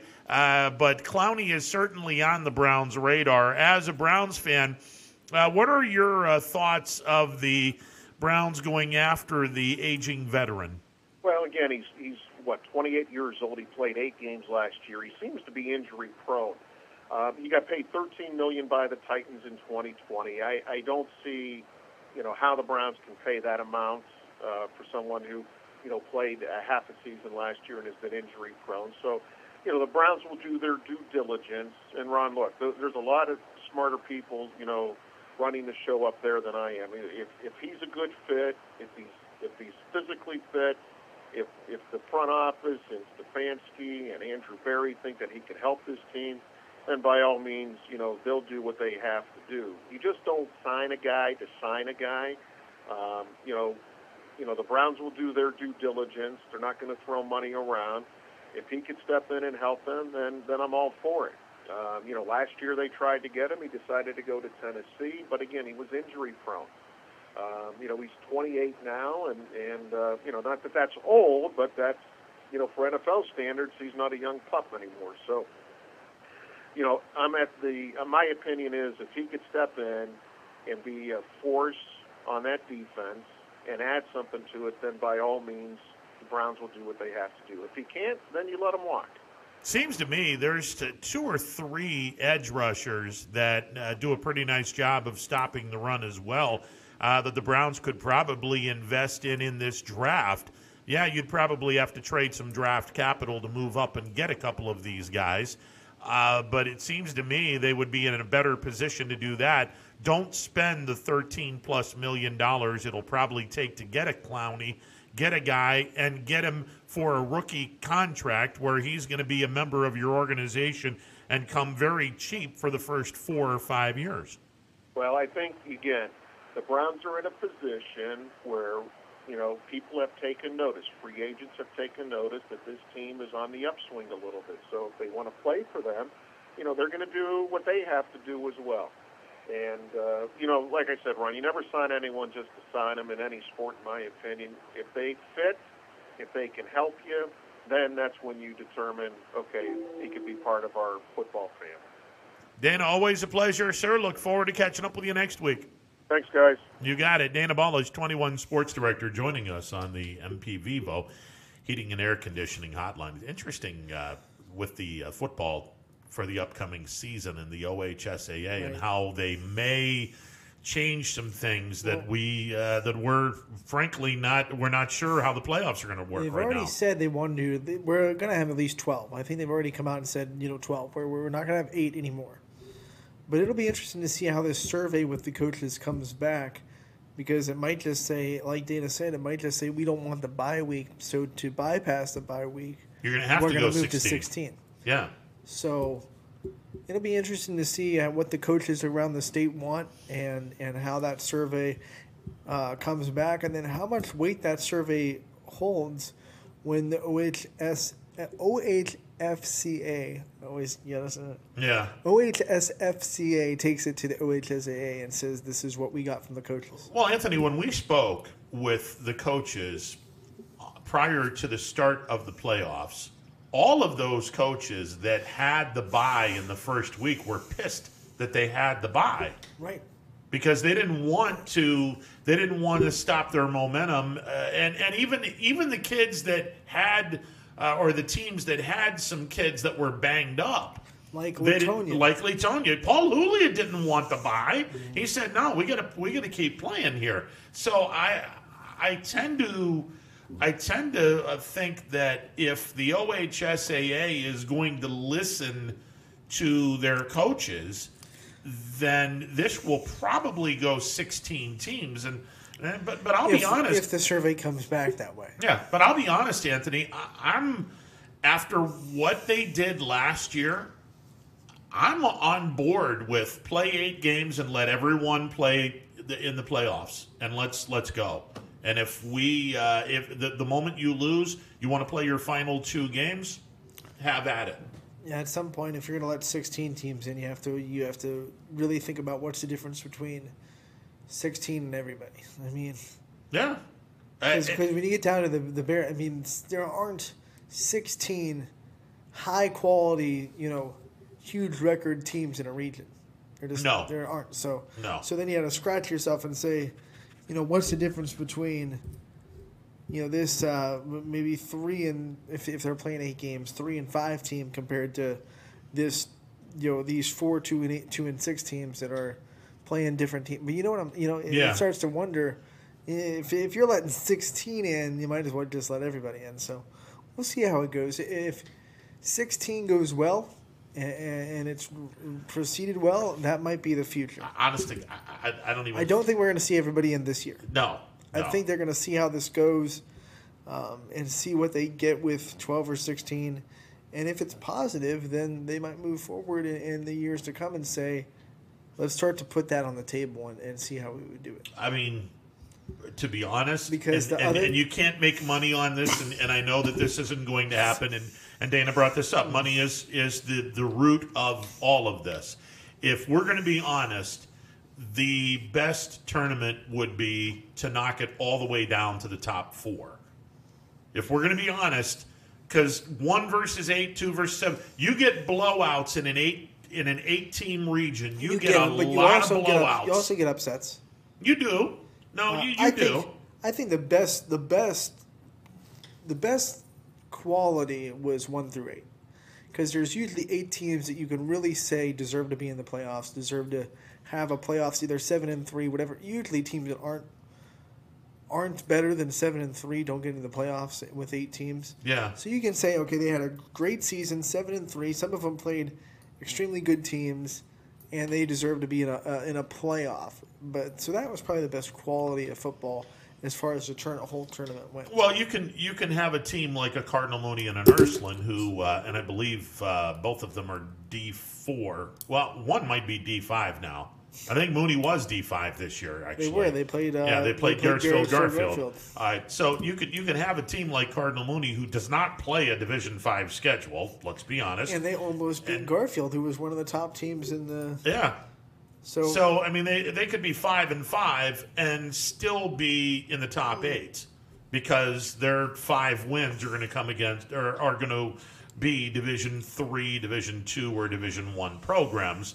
Uh, the computer is going to be very nice to them uh, because they're scheduling up. So and then if you go undefeated against a bunch of Division Six teams, it's not going to be. Nice it's to not going to be nice to you. Yeah. So Uh, especially if the teams you The- beat all wound up with losing records, it won't be nice to you. That's the the computers make the scheduling a little bit more important because a lot of coaches that don't see these teams look at an undefeated season and just be like, okay, you were in the top three seed or whatever. yeah. Because they're, they're not gonna they don't have the time to dive into your schedule and see who you played. Yeah. Exactly. But the computer does.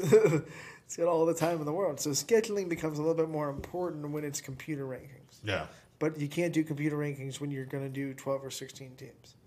Got to have coaches vote on that. Yeah, So, well, it's. so we'll see how it goes. I'll be I'll be very curious to see how this works. Um, you know, again, I'm not a fan. I mean, if if we're going to go more than eight teams, then let them all in and let's play an eight game regular season and let everyone in. Everyone makes all kinds of money, especially the OHSAA. They make oodles and oodles of money if everyone plays in the playoffs.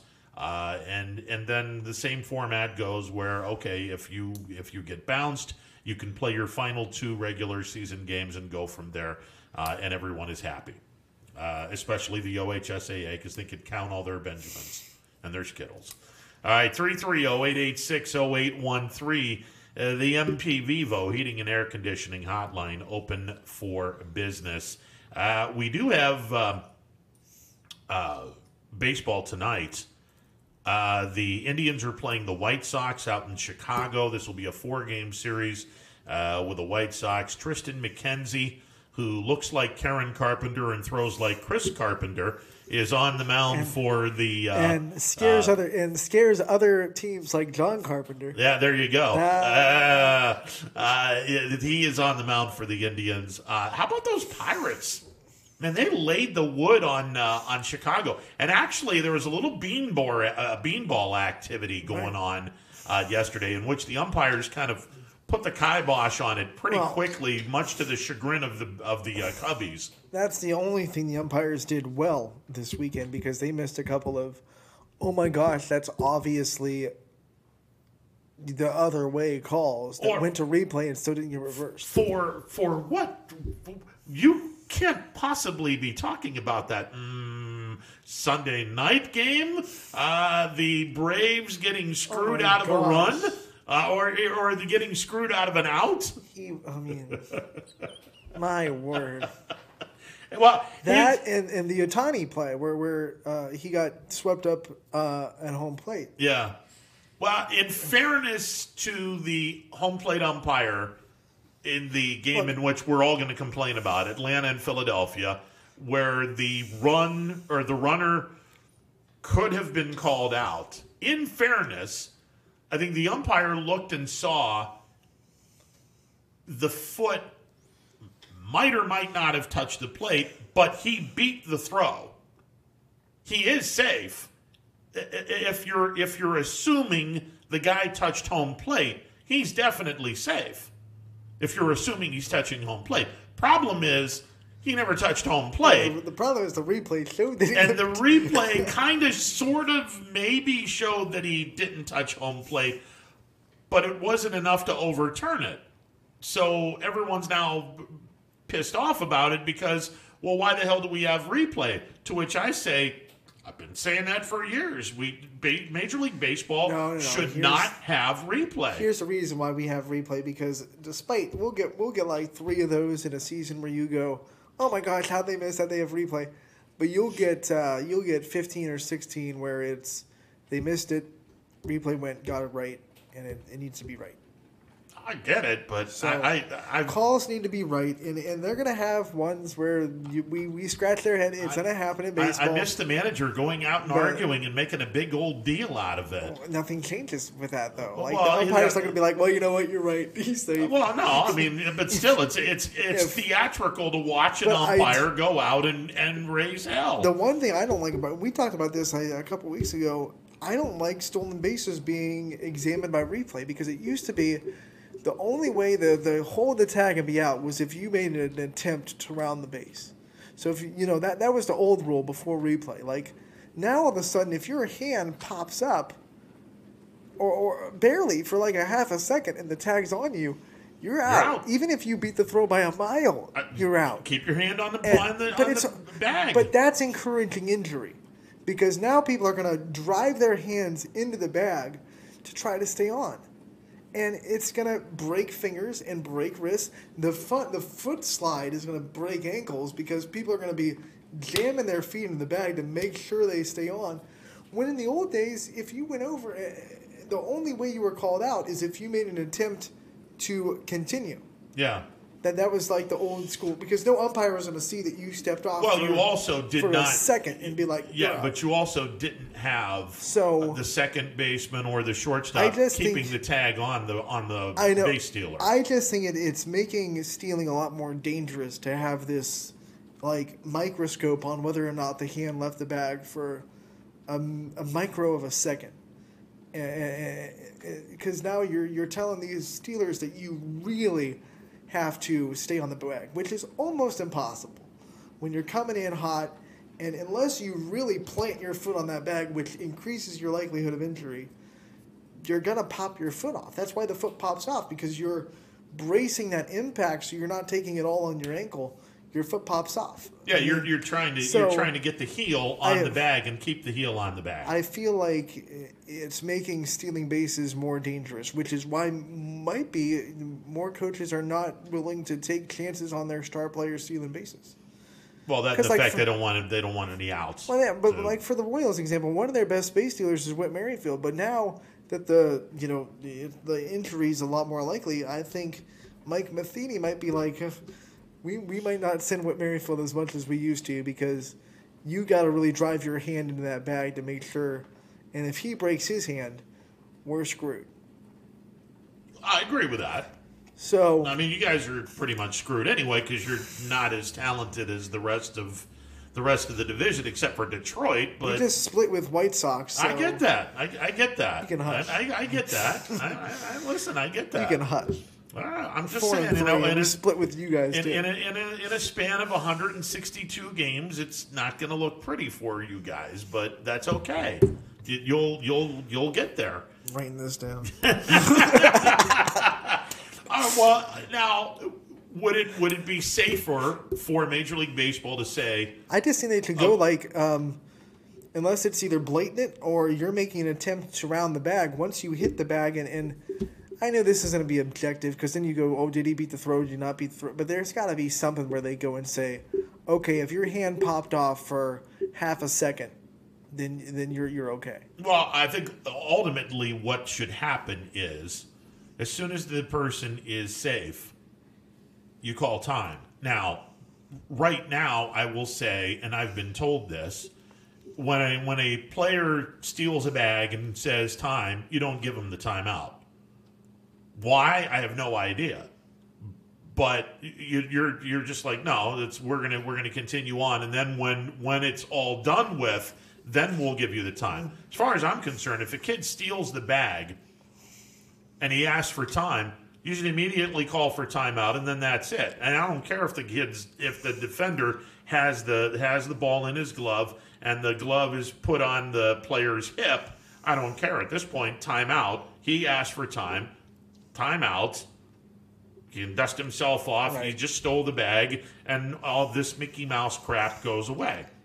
That you can do that, or you you simply just say once the play is over, okay, you get rid of the ball. We're not doing this this BS with you putting the ball and, and leaving it on the on the uh, on the player. It's the same thing over at first base. When a guy's getting picked off or or leading off at first base and dives back to the bag, the first baseman is leaving that glove on the player as if to say, "All right, uh, where are you going to go here?" That happened uh, in the game, the Royals game against the White Sox. Carlos Santana was holding the, the, the glove on his hip, even like after he stood up, just like in jest. And the I forget what White Sox hitter it was. He went and smacked it away. Yeah. Then Carlos, you know, he, he thinks he's a he's a smart aleck. He took his glove, put it on his shoulder for a couple of seconds. you know, you have fun with it. But yeah, you're right. I mean, they they I just think there's got to be something to to to because I'm getting tired of uh, you beat the throw by a mile. I mean, you clearly are safe, and then because your hand popped off for for a split second, mm. Yeah. replay says you're out. That's the only thing I don't like about replay. Everything else, I'm for. You know, you get it right. You're gonna have, like I said, you're gonna have four or five plays during a season naturally that, for one reason or another, the replay booth didn't see it, and everyone in America thinks they did, and it's like, oh, why do we have replay? This, this was clearly Well, safe, la- and he's wrong. uh, last night But it was there was nothing clearly out or clearly um, safe about last night's call. a majority of the plays happen because the umpire gets it wrong, and the replay comes and says, we're, we're going to get it right. Yeah. And that's what it should be. Yeah. Well, last night was not clearly out or clearly safe because you know you see the foot. Well, he didn't but touch I'm- the bottom of the spike. Could have touched the could have touched home plate. We don't know. That's why they couldn't overturn that call. But a lot of America thinks. But but everyone's looking at that and like, oh, well, this is this was a horrible call. Well, you know, I mean, eh, if we're and I and I can't blame the umpire for this. You know, the the foot goes across home plate. You're going to assume and be 99.9% accurate when the foot crosses home plate. Hey, he touched home plate. Well, in this case, he may not have touched home plate. The foot, here's the plate, and the foot's like, and he doesn't touch home plate, but it goes over. Well, okay, he's safe. Well, maybe not, because did he touch the home plate instead of just gliding his foot over home plate? Because there is no question that foot beat the tag. That foot went over the plate before the tag was made. The runner's safe if he touched home plate. That's the million dollar question that we're never going to get an answer of. Because the kid from Philadelphia was like, I was safe. Uh, you know, I don't know if that's his smart ass view of saying, well, the umpire said I was safe, so I'm safe, or if he's saying matter of factly, hey, I was safe. Well, of course he would say. What's he going to come out? He's like, no, man. Ah, he beat I me. escaped. He beat me. I got it. And the And Academy the- Award goes to. And all the Braves fans can suck it. Yeah. You know, uh, Well, I mean, it just it was it is what it is. Uh, that was um, I was surprised they sent him because that was a shallow pop fly, and Acuna's got a pretty good arm. yeah, it was like only 210 feet. Uh, but I guess in the top of the ninth tie game, you just go for it and make you make the defense make the play. It's ballsy. and that's what happened. I mean, there's something to be said about even if it's a, a high risk uh, play, making the defense make that play uh, rather than just saying, "Oh, you know, you can go ahead with it." sometimes the throw's not exactly where it needs to be, and, and you can you can buy a score off of it. So Well, it- I, I like it. I like the aggressiveness. Listen, I mean the uh, it, it was only 220 feet, if that. So the third base coach, and I'm and I'm looking here real quick uh, to um, uh, to figure out who the third base coach is. Uh, Dusty Wathan uh, is the third base coach. Uh, that that's just a hell of a job by Dusty. I mean, I'm- okay, I'm going to gamble here, and uh, and here's what we're going to do. Well, gamble pays off. That was that was a solid move. Solid move. All right, 330-886-0813. We'll take a timeout. Be back with more. It is a Monday edition of Running Point presented by Running uh, presented by Presented, presented by Running Point. Yeah. Okay. Presented by Greenwood Chevrolet on Mahoning Avenue in Austintown. Back in a bit. Quality, customer service, and integrity. Those are the four words that have driven our success since 1957 at Joe Dickey Electric. Joe Dickey Electric is one Mahoning Valley landmark business that stays current with the requirements of our customers. Family owned and managed, we are an electrical contractor and energy solutions provider. Every member of our team adds to his or her skill set through ongoing training. Residential, commercial, industrial, automotive, and more. We keep ahead of the needs of our customers with a fleet of more than 50 vehicles and 24 7 emergency service, so you're never left in the dark. The 4M Company, being an architect and construction manager for over 40 years, has had the opportunity to use many different electrical businesses for our projects. The depth, quality, and knowledge and attention to detail displayed by Dickey Electric makes them stand out above all the rest. For state of the art expertise and a timeless commitment to our customers, contact Joe Dickey Electric. We are everything electrical.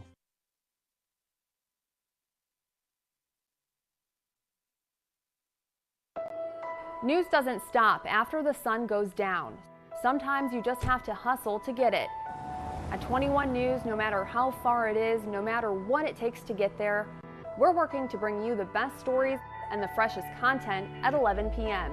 with the context and clarity that makes it worth staying up for, no matter what time it is.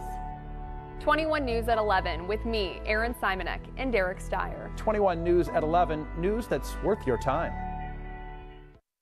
When looking for home design inspiration, don't just be inspired, be Baird inspired. Whether new or remodeling, Baird Brothers has the latest trends like shiplap to refresh your home.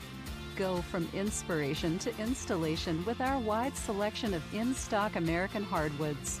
From the rustic charm of antique oak to the warmth of traditional cherry, Baird Brothers has what you need to make your home inspiring.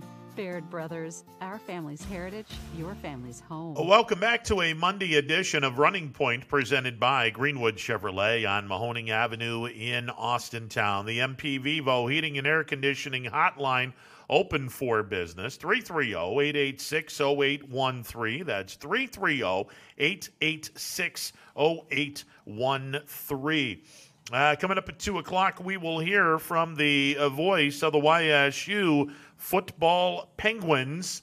Uh, bob hannon will be joining the show at 2 o'clock. Uh, somebody asked me over the weekend if uh, you and I were going to be doing another mock draft uh, with the NFL draft coming up, and um, I believe we are going to uh, we are going to have a little bit of fun with this with the mock draft. Do they remember how bad last year's went for us? Well, we were five out of ten. I mean, we, we did we did I think we went three out of the first ten because we had to go all the way to like pick fifteen to break our little bet. Well, I think we're going to be three for three uh, to Well, this it's all going to be like which which quarterback goes in what spot, though. I mean, we can say three quarterbacks, but Well, Trevor Lawrence is going one. right. I mean, I don't, there, I don't think there's any question about that. Uh, the kid from BYU is probably going to go too. But then again, this is the Jets.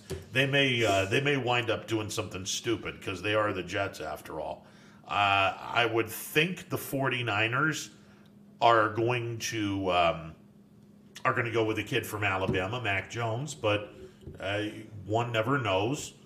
Uh, that leaves uh, Fields See, with, from Ohio 49ers, State. but people are saying, and and I tend to agree that the 49ers might be leaning towards Fields because that system fits a little bit better with a read option quarterback. It could. Yeah, I, And I mean, might, it could. and he he's much more of a read option quarterback than than Mac Jones. He's more of a pocket, you know, old school type of stay in the pocket, make your throws kind of player. And and Kyle Shanahan, he he runs an offense that, despite Jimmy G, kind of may lean towards you know a, a run uh, read option type quarterback. The team I would love to be right now is Atlanta at four. Because, Well, no one wants to be Atlanta because that's just a bad. Well, I was just making a joke. Yeah, Yeah. yeah, I know. That's, I, I You want me to- understand. Uh, At- Atlanta's known choke- for uh, choking don't a few choke things. on your food. Yeah, yeah, they've been known to choke a few uh, a few things, but um, Atlanta has an opportunity to possibly get the best player in this draft, in my humble opinion, and that's the tight end from Florida. Because if the top three teams are going to go quarterback crazy, Atlanta can sit back and go, okay, we'll take the best player in this draft and take the tight end out of Florida and just go from there. Uh, and that might extend Matt Ryan's career another couple of years to have another uh, toy in the uh, in the tool chest for uh, for Matty Ice. He needs uh, he needs protection. Is what he needs. Well, yeah, that's true. no, that, and you can get some offensive linemen in the uh, second and third round, but you know, for me, uh, I, I, I, as a Bills fan, I would because Buffalo doesn't have a tight end per se, although Dawson Knox pretends to be one. I would love to jump from 30 all the way to four, but it would cost a first round pick in the next three drafts. This one, 21, and probably 22, just to have the value to go from 30 all the way up to number four.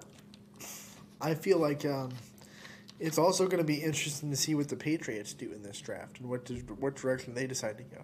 Well- I know you don't want to hear that because they're the. Uh, Listen, But, uh, uh, I have I have a vision of the New England Patriots calling Atlanta up and saying, "Hey, you, you know, we kind of want this fourth pick. It's an opportunity for you guys to screw us uh, since we took your Super Bowl." Uh, I could see New England, especially if Fields is available. I could see New England saying, "Call Atlanta.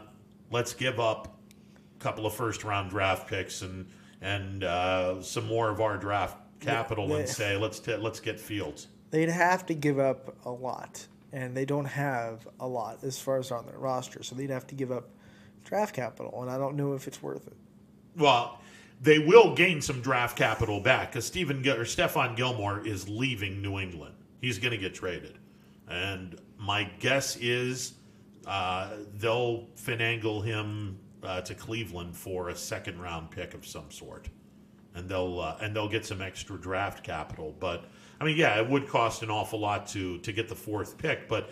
If the Patriots organization believes in Fields or whoever is left, it wouldn't surprise me if they jump up and say, "Hey, let's grab that fourth pick," and that would leave Cincinnati at five, salivating because it would be the tight end out of Florida, and all of a sudden Joe Burrow has lots of toys in the, you know, in the in the toy uh, in the uh, toy closet to work with, uh, and Cincinnati's going to be a fun team to watch anyway, even though they're mismanaged.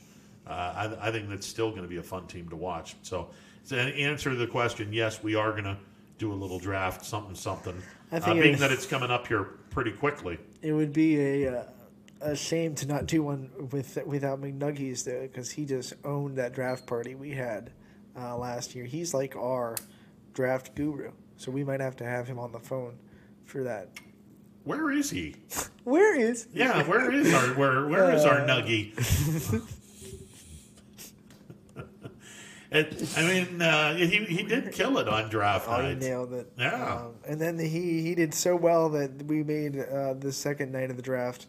We we put him on on again, and people loved listening to his him and his notebook and, and what he brought to the table. So he's smarter than both of us combined when it comes to draft. Yeah, it was uh, it was pretty interesting. He nailed it. Yeah, it was pretty interesting to uh, to hear other people's opinions on this for sure. Uh, but yeah, we will uh, we will have a uh, a draft preview, and it should be entertaining.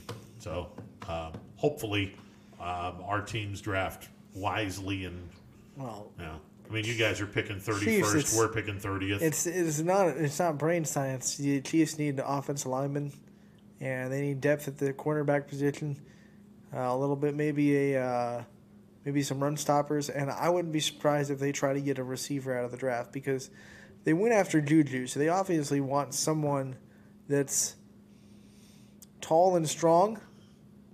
Uh, to, to help in the red zone because as fast as Tyreek Hill, Mecole Hardman, and, and and Robinson are, they're they're on the smaller side. They don't really help you a lot inside the ten yard yeah, line. and Sammy Watkins is now in Baltimore. Right, and he didn't help a lot in the red No. zone either because he was small and fast. Yep. I mean, so I think they might be looking for maybe a taller receiver that's strong and they can go up and get uh, red zone touchdowns. So it's not like in the red zone, hey, let's double Travis Kelce, and no, you know, then the Chiefs are like, well, now what?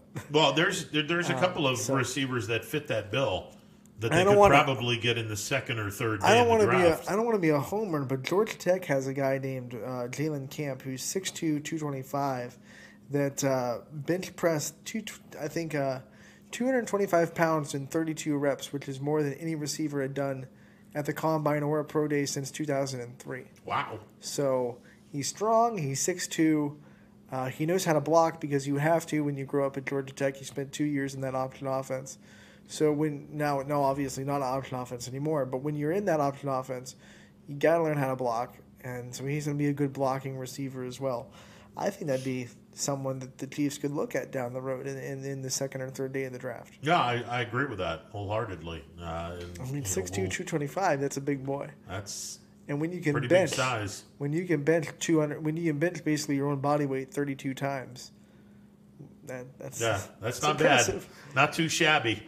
Not too shabby. and he, Uh, ran, he ran a 4-4-40 too by the way so when you're running 4-4 and you're guy's a freak of an athlete. right so that he had a he had a heck of a pro day at Georgia Tech Yeah. And people are like oh this he was even on the NFL network I mean they they, they, they, highlighted him as one of the receivers they were going to highlight so um, he might go be interesting to see what happens. I, I know that um, there's an awful lot of talent in certain positions. Uh, the draft is deep and real uh, in in a couple of positions. The DNs, edge rushers, it's pretty deep.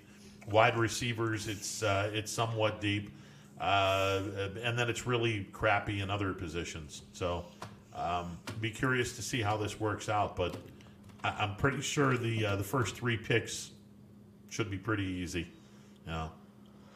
Uh, Trevor Lawrence, kid from BYU, and, And really, probably they were the kid from year Alabama. too. I mean, last year we got the first three, bang, bang, bang, and Yeah. then, then it got dicey. Yeah, and then it got dicey. So it, it's uh, it, will be it'll be interesting. Uh, but long long story short, yes, we will have a uh, a draft preview and have a little bit of fun with it. So uh, it should be fun. Uh, again, uh, the uh, story out of that was making the rounds out of Cleveland was Jadeveon Clowney signing with the Browns as early as today.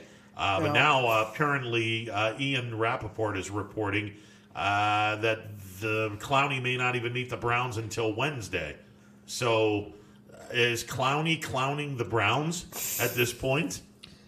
You're just waiting to pull that one out. Man, Uh, you're, well, you're, I, I'm just, you know, I, I, I aim to please. you're humming them out today on a Monday. I, I Um, aim to please. What can I tell you? We've already talked about the negative aspects of signing Jadeveon Clowney because we talked about this last week, but I do want to be devil's advocate on the other side and be whether it's earned or not. That name gets a lot of attention on other team scouting reports. It does. I mean, it, it, Jadeveon Clowney on that side, we we got to watch him because whether he's put up the, the numbers in the NFL or not, he kind of strikes fear into other other teams' you know scouting report. He demands that attention. So it would be someone that would maybe take attention off of Myles Garrett more than a rookie who might not garner all the attention because you know teams are going to be like, well, he hasn't proven himself yet. Um, so he might draw that scouting report attention from other teams away from Myles Garrett. He does that- a nice job. He does a nice job stopping the run. Mhm. He doesn't do a nice job of passing or uh, uh, pass rushing anymore. Not that I don't. I don't think he ever did a great job of pass rushing per se. Well, he's Um, never had a double digit sack season. So that's that's yes, you are you are correct in that. But he has stopped the run pretty well um, defensively. So then I can see that would be the allure uh, of attraction for the Browns because let's face it, the Browns they weren't able to stop very much running wise. Um, so if you add a Jadeveon Clowney, they become a lot better at stopping the run, which will go a long way to uh, the progression of the linebackers because you don't want the linebackers to be forced to uh, uh, get blocked because your defensive line is getting screwed at the line of scrimmage, and then your uh, linebackers are getting blocked, and all of a sudden, guys running into the secondary where your strong safety and your corners and your free safety have to make tackles. you don't want to do that. So uh, Clowney does stop the run pretty well. It's just he he's never been a prototypical pass rusher. Uh, he's overrated in that regard, and I will I will argue he has made a career on one snapshot play in college football where he destroyed someone from Michigan. Right. And uh, I always thought that play was overrated anyway because he wasn't. He wasn't blocked. blocked. I mean, he just he had a head of steam and he knocked this guy into into next Tuesday. Uh, so it was I mean a hell of a play, but he was unblocked. I mean, of course he's going to do that. And any any player worth their salt would have done the exact same thing because he wasn't blocked. Back when Sports Center would keep number like the number one play of the and they'd keep it until it gets beat by voting. I believe that play was on like number top ten for a whole you know two months because this everyone loved watching that. It was just one of those ones, one of those plays that's like, yeah, gotta watch it. And, yeah. And I, I never was that impressed by it. All right, Bob Hannon coming up next. We'll talk YSU football. Stick around. Hello, I'm Greg Burbick with G. Burbick Farms. For the last hundred years, my family has farmed in Columbiana and Mahoning counties. I began raising cattle in 1996 with the goal of providing a better product for you and your family on the dinner table. Our grass-fed and grain-supplemented black Angus beef are raised with no hormones, steroids, or antibiotics. We're known for our hometown-friendly service and incredible tasting products. We're locally owned and have customers across the tri-state area. Our products go from our farm to your family. Stop by our farm on New Buffalo Road or visit us on the web at gburbickfarms.com. Don't forget to like us on Facebook. G Burbick Farms, it just tastes better.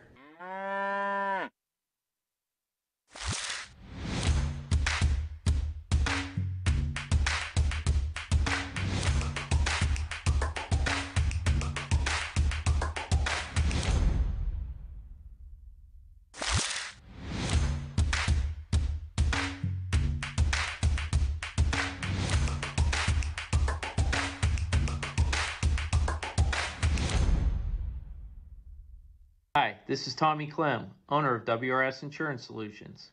WRS Insurance Solutions is a local independent agency that specializes in life, Medicare, long term care, and disability products.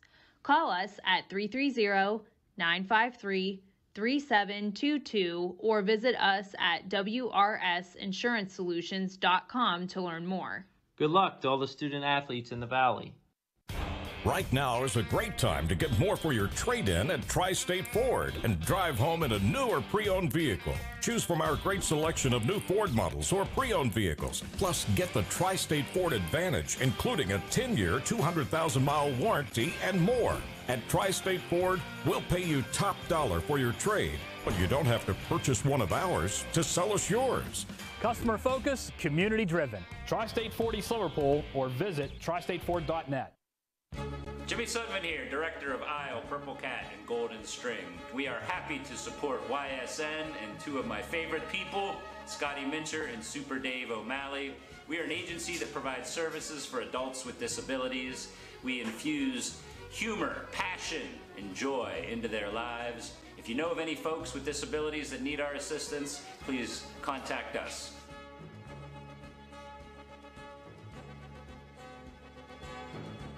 Welcome back to the Monday edition of Running Point presented by Greenwood Chevrolet on Mahoning Avenue in Austintown. Uh, Anthony Hartwig, Ron Potesta with you, and we are joined on this Monday afternoon during Penguins football season. That is so weird saying football in spring. Uh, Bob Hannon joining us on the MP Vivo Heating and Air Conditioning Hotline. Bob, how are you today, sir? I'm doing well, Ron. Fortunately, we didn't come back with a win, but Monday off to a good start. All right, so the Penguins lose to Missouri State 21 to 10 on uh, Saturday. You made mention in the post game show that I think you're you're 100% accurate on this despite the fact that he has a horrible reputation in FBS and Nash and the uh, National Football League. Um, I thought that Bobby Petrino, uh, who is doing a uh, or trying to um, pick up the pieces and and improve his reputation around football, I think Bobby Petrino has done an amazing job with Missouri State this year. Well, Ron, when you look at where they were to where they are now, he came in with one of the, you know, taking over really one of the worst programs in the country. They hadn't made the playoffs since 1990, no winning season since 2009, and, and, and more often than not, just getting beaten up pretty badly. And then in the fall, they go 0 and 3. But it looked like after the 49 nothing loss to Oklahoma, which most FCS teams would lose to Oklahoma, if not all FCS, they were pretty competitive against Central Arkansas. And then they brought a handful of players in mid-year, and, and they hit the mark on on most of those players. A couple cornerbacks and uh, a few other guys on the offensive line that came in and helped right away. And now they sit five and one in the conference. Um, that's impressive. Uh, now, can he keep it going and sustain it? We're going to see. But I do know that they have a true freshman running back in Manning and a redshirt freshman quarterback and uh, and Jaden Johnson who came in. So they've got some skilled players that are that are pretty young that are going to be there for a few years. Man, with all those points that you made about the changes they made in the in the middle of the, the you know after fall before spring, they're a different team now. They have some new people in the. I just we talked about this early in the show with Ron. I can't see keeping them out of the playoffs if things work out where South Dakota State beats North Dakota State and, and they're sitting at a, at a two spot or, or winning the, the Missouri Valley Conference. If they win it, they're in. Even if they don't, and they end up in the top two or three, I just if if they if they're kept out, I hope it's not because they went 0 3 in the fall against Central Arkansas and Oklahoma. No, Anthony, it's a tough call. I think the best scenario for Missouri State to get to the playoffs is if YSU beats North Dakota. That'll give North Dakota two losses and then North Dakota State or South Dakota State, one of those two would be in for sure. The winner of the game Saturday, and then it might come down to you know who who gets in that that the loser of that game or Missouri State. Now, if they would take three teams, then they'd be sitting in pretty good shape. But if if North Dakota State gets in or South Dakota State, and then North Dakota beats YSU, they're probably going to take those two for sure. The winner of the Saturday game in Fargo and in North Dakota. I don't know if they'll hold it against them, but I think it's going to play into it a little bit. Uh, their only loss in the league was 25 nothing uh, to North Dakota State. They look like a playoff team, and I would think right now they're one of the 16 best teams in the country. I think it'll probably come down to what happens to North Dakota against the Penguins, and will they take three teams uh, to the postseason? You know, I feel bad for whoever made the uh, T-shirts in uh, Springfield, Missouri, because um, and and you made mention of this in the post game show, and and I uh, doubled down on it because it's true. Uh, North Dakota State did beat Northern Iowa, uh, so Missouri State and North Dakota State are tied with five and one records. South Dakota State and North Dakota are four and one. Uh, if North Dakota State beats South Dakota State on Saturday, they're six and one. They win the league, and all of a sudden, whoever made those shirts saying Missouri State, Missouri Valley Football Conference champions, uh, they're not looking too smart. Uh, but if South Dakota State knocks off North Dakota State, then all is right in the world, and they are the Missouri Valley Football Conference champs.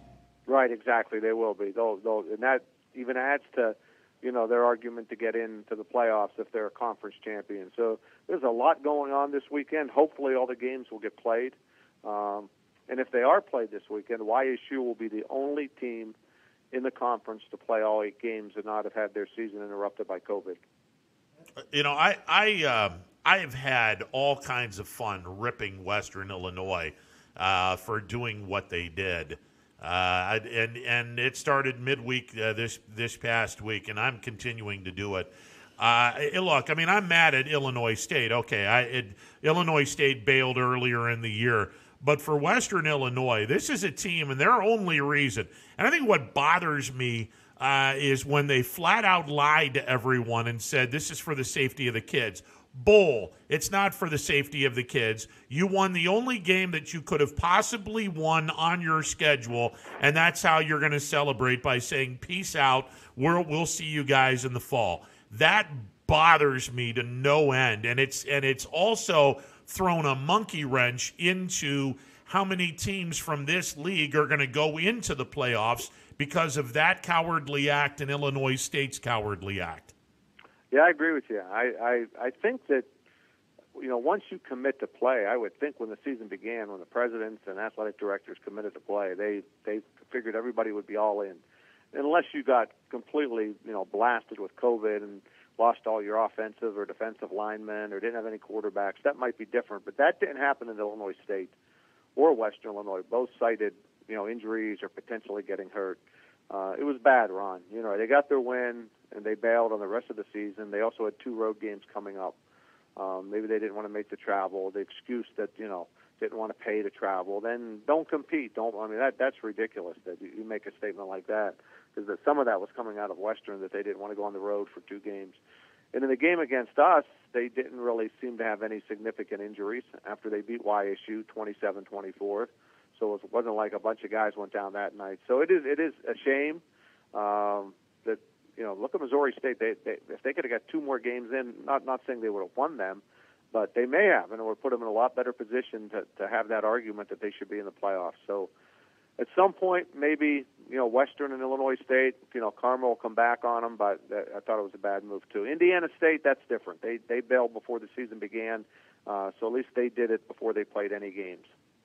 I feel like when fall comes around, there's going to be a storm coming for uh, Illinois State, but especially Western Illinois for, for doing what that, that they did. I feel like when when you get that team on your schedule it's going to be circled more than it would be because normally it says, okay, let's just go to Western Illinois and take care of business. Now it's let's make sure these guys understand how we feel about what they did, and there's going to be no mercy.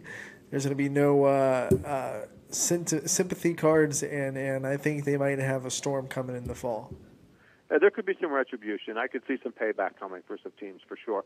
I know Southern Illinois coach Nick Hill. He's been very vocal about it. He, he's he's not held back. He made some comments on Twitter, and then Doug Phillips said last week on the pregame, unless the floor completely fell out here, and not injuries, COVID, uh, you know, completely wiping us out, which would force us to cancel a game or two. There was no way they were not going to try to get every game in, and I think it's benefited. I know they're just sitting at one and six, but hopefully it'll it'll help come fall and I think it'll be a like a free agent off season. I mean, what, what's going to happen in the portal?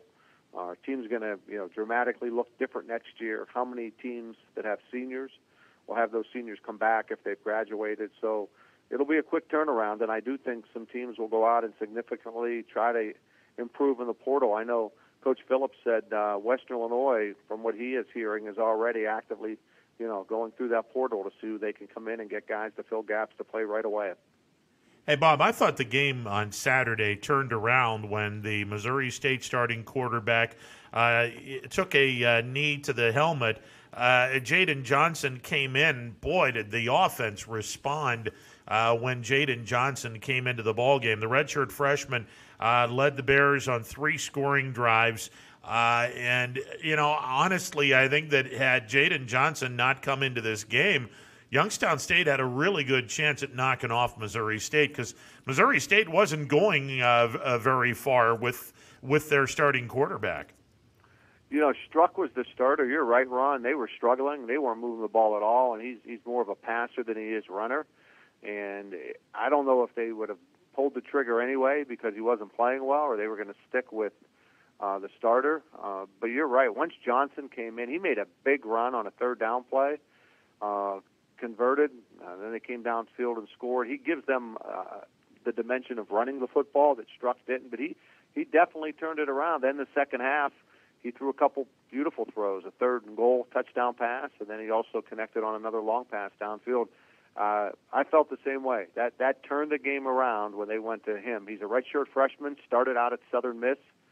You know, he, he's a probably going to get better and better with Petrino because coming out of high school, he was recruited by Georgia and Indiana and some big time schools. So, you know, there, there's some there's some talent there. And Bob, obviously, uh, for Youngstown State, the guy that has been the the engine that runs the offense, Jaleel McLaughlin. What a spring this young man has put together, uh, and the fact that he has two years of eligibility left. Uh, this is some serious comfort for Youngstown State. They've they've got a nice staple of running backs, and we saw Dre Rushton uh, score a touchdown late in the game. Uh, Dre has uh, the ability to uh, to to spell McLaughlin. a couple of other kids uh, could could certainly come into the game if if Jaleel needs a break, but. running back is certainly not going to be a problem for Youngstown State the next couple of years. Yeah, no, no question. They they've got depth there, and we were mostly seeing Christian Turner. We saw a little bit of Pearson. That's the first we've seen extensive play by Rushton. He looked good, and from what I hear, he's a good receiver out of the backfield. And uh, and we may see a lot of those guys this week. I, I did find out today that uh, Jaleel got nicked up a little bit in that game uh, on Saturday, and right now he's probably questionable for Saturday. So if he can't go, we're going to need Rushton and Turner and um, some of those other guys, Pearson, to play. But no, there are stable backs. McLaughlin certainly has, has shown he is the number one guy, and he has clearly emerged as our back for the next two years. But you need some depth. You don't want him to have to carry 28, 30 times a game. And in this conference, you know, you're going to need some players back there. But I'd say J- Dre Rushton ran hard. Uh, looked like he definitely, you know, felt comfortable in the offense and uh, show that he can you know, catch the football, which he did on the six-yard touchdown pass. That is one area, Ron, where I think YSU's in pretty good shape at running back you know, this final game of the year kind of feels like to me like a fourth preseason game in the NFL where you really want your guys that are still question marks to really stand out in this game. And of course, you want to win it. But this game's going to have immense impact on evaluation more than anything because I think there are plenty of guys that might still have question marks going into next season that are really going to be evaluated based on this last game. Do you kind of get that sense too? Yeah, I do. I think uh, we're still trying to figure out wide receiver, do we have the talent? Do we not? Do we need to get bigger? Do we need to get faster? Uh, do we need to go in the portal? Uh, so I think there's some guys that would like to finish strong there. Um, also think they're trying to, to find on the defensive line, even though they've played eight, nine guys. Is there maybe one guy that could maybe emerge as that dominant defensive lineman, which we haven't seen yet this year? So I think that, yeah, there's a lot on the line, and also the ability to beat a good team in North Dakota and maybe knock them out of the playoffs. So I do. I I don't think Waid will play, so I think it'll be Craycraft. And um, the other question is, would Crenshaw get some work at quarterback? I know he was uh, highly touted coming, you know, out of high school, and the plan was that he wouldn't play this year. Uh, so I think there is a lot to play for this Saturday with North Dakota coming in. You know, Bob, I, I was going to ask. Obviously, Mark Waid's uh, injuries are such where he's not going to play on Saturday, and while you do have the respect factor of trying to beat North Dakota, trying to deny them an opportunity to go into the playoffs, trying to give Missouri State every opportunity to at least share a conference championship, assuming South Dakota State can upset North Dakota State. Youngstown State also wants to be able to, you know, uh, have some kids play uh, with live bullets. And you know, you brought up Crenshaw's name. I'm I'm thinking Mitch Davidson, who uh, who played high school football at Salem. Uh, there's another kid that you know I'd, I'd kind of like to see what the Penguins have with this uh, with this guy, and I'm I'm wondering if coach is going to say, hey, um, you know, Joe Craycraft is our guy today, uh, but we're going to throw a couple of these other kids if the game gets out of hand. It might happen. You're right, and, it, and now would be the time to do it to give him some playing time to get something on film and game conditions. Um, so it could be Davidson, could be Crenshaw. I, I asked Coach last week who would be the backup. He goes, it depends, and I think you know if we were leading and we needed more of a running quarterback, it might have been Crenshaw. If, if Joe Craycraft would have got injured and we had to throw the ball, maybe it would have been Davidson. I think they feel he throws it a little bit better.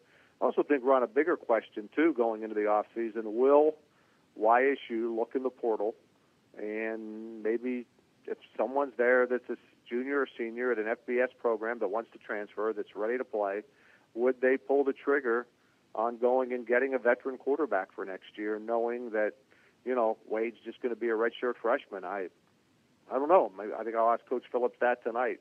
I think there's still um, a good feeling about the quarterback position of Mark Waid, but there's also some uncertainty that that he's he's not clearly established himself uh, as a number one guy. We you know when you're throwing for about 60, 70 yards a game on average, that's not going to cut it next fall if we're going to get better.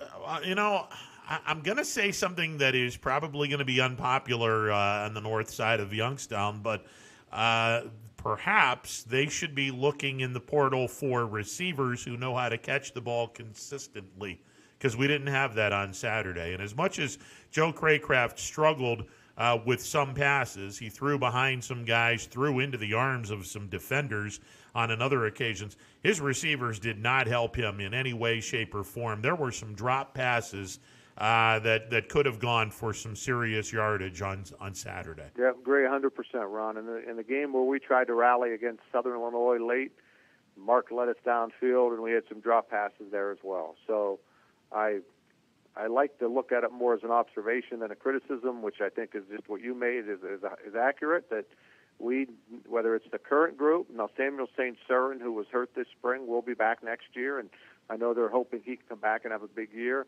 Uh, we're going to have to play a lot better at wide receiver. Uh, a lot of the games where fans would, you know, ask me about why is they why are the quarterbacks holding the ball? Why can't we throw? Uh, the receivers weren't open. So if they're not open, the quarterback either has to take a sack or throw the ball away. So we we do need to. I think that's the one specific area where there needs to be a vast improvement next year, wide receiver. And one of the positives I think about Mark Waid going forward is, you know, all the points you made are true. You know, he hasn't uh, established himself numbers wise. But when you watch how the team just responded to him when he took over that starting role and how much the offense kind of came alive and, and he, he's got to be kind of a spark in the locker room and, and kind of a, a, guy that the guys, for one reason or another, get behind. And that's going to be a, a major stepping stone for him going forward uh, is trying to fight for this starting role at, at quarterback. I think he has, Anthony. I think you're right on that. He has the respect of all his teammates because he works hard. He's well, like a cliche, but he is the first one in, last one out. Puts a ton of time into it. It's it's not for lack of effort. It's not for lack of preparation. Um, everybody wants Mark to be the guy and succeed and win, and he's still young. Uh, he'll be still a redshirt freshman next year because of COVID. He'll be his third year in the program, uh, but be a redshirt freshman. So I still think there's a real high ceiling on Mark, and he has a chance to win. Um, so maybe it's that combination. You know, you get another year with Mark Waid, and you get better play a wide receiver, and then all of a sudden maybe we are throwing for you know 175, 200 yards a game. So I think it's the combination too of receiver and, and quarterback. And I've also had you know some football fans I respect say, you know, our game plan's conservative. We don't open it up. I think they would like to open it up more, but maybe the weapons just aren't there yet. So I think we will in the fall see a more open offense and, and maybe try to take more shots downfield. You know, and interestingly enough, and, and we've talked about the, the transfer portal, and it's gone both ways. I mean, the basketball program has lost some kids. Uh, now they're starting to gain some kids from the transfer portal. The one problem for me for football season, look, I mean, it's a, it's a quick turnaround this year. Uh, you're the last game for us is going to be on Saturday, April the 17th. In about four months later, these guys are going to be back on the field playing football in the fall of 2021. So it is a really, really quick turnaround. So whoever the Penguins attract in the portal, if they are to get some kids to come to Youngstown State, they're going to have to learn the playbook within four months in order for them to be effective uh, come the fall. And and that is uh, that's another part of this uh, that is going to be challenging to say the least.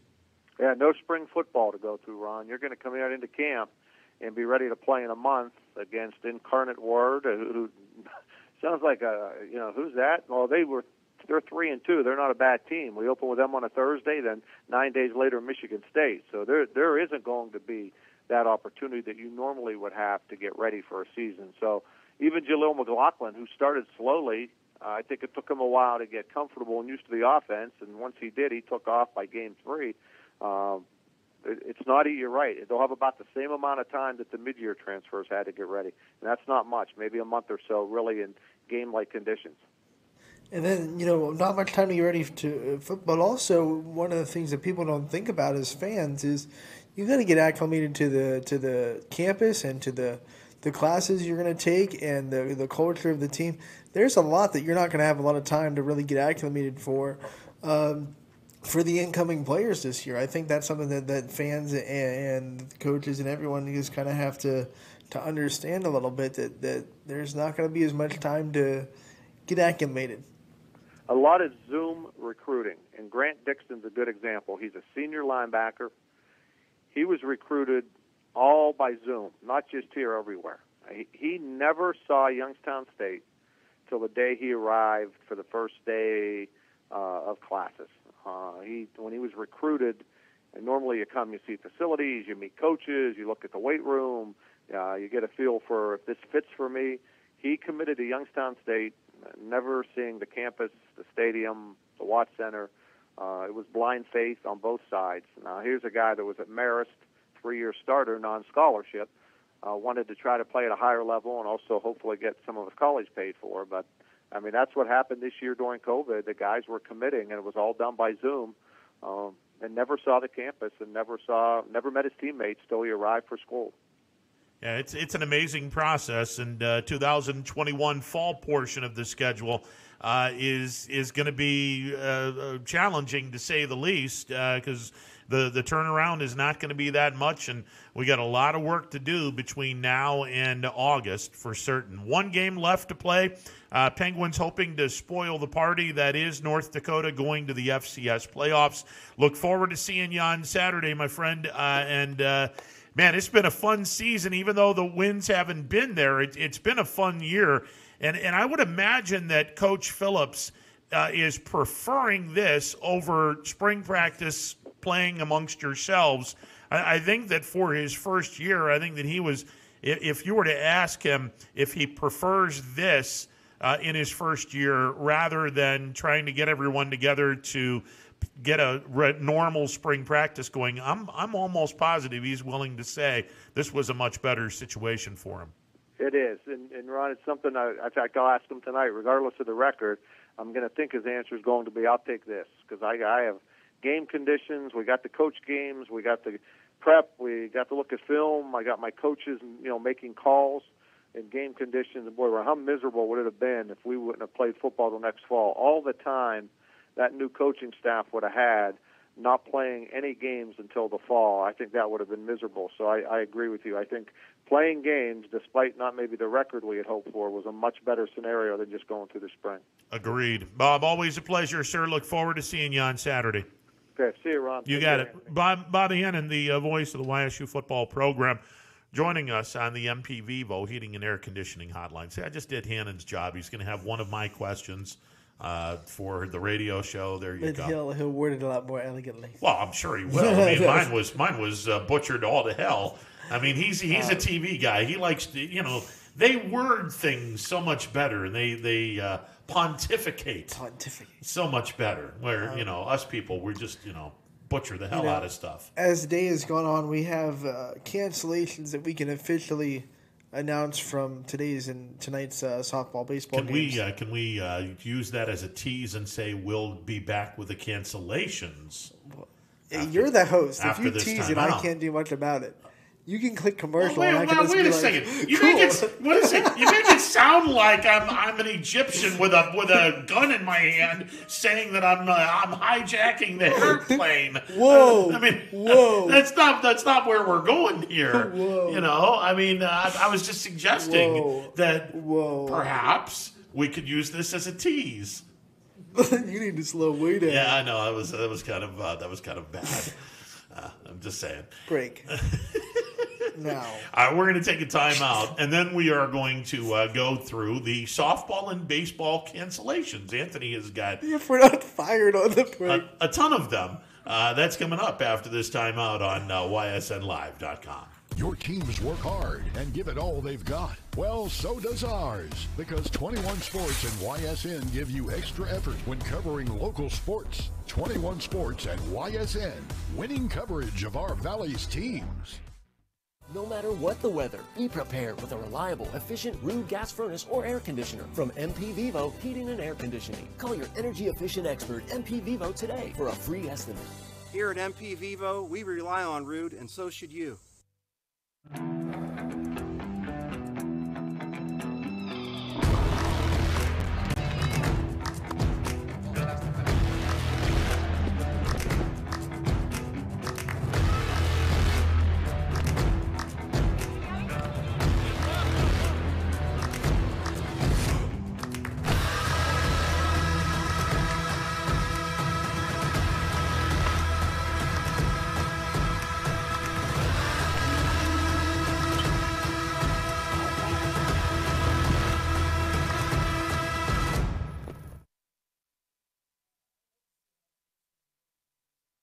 Myers Family Insurance knows the importance of a great team.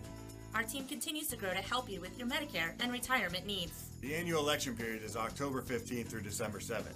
Now's the time to make sure your plan continues to meet your needs for the upcoming year. Call today.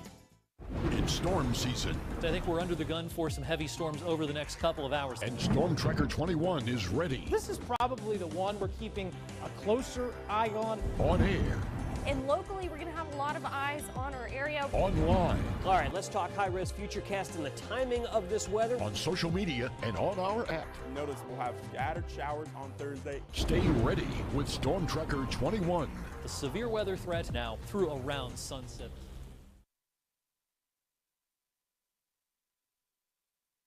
Your first and last stop with your tax return should be with me, Tracy Bryden at Greenwood Chevrolet in Austintown. No other dealer goes the extra mile to bring you the largest selection of vehicles at one convenient location. With guaranteed credit approval, I will find you the right vehicle and the right financing options for you. I am ready to go the extra mile to show you why no other dealer sells more cars, finances more, and gets you more for your refund than Greenwood Chevrolet in Austintown. Welcome back to a Monday edition of Running Point presented by Greenwood Chevrolet on Mahoning Avenue in Austintown. Good God, we have fun during the uh, during the breaks. Um, we shouldn't.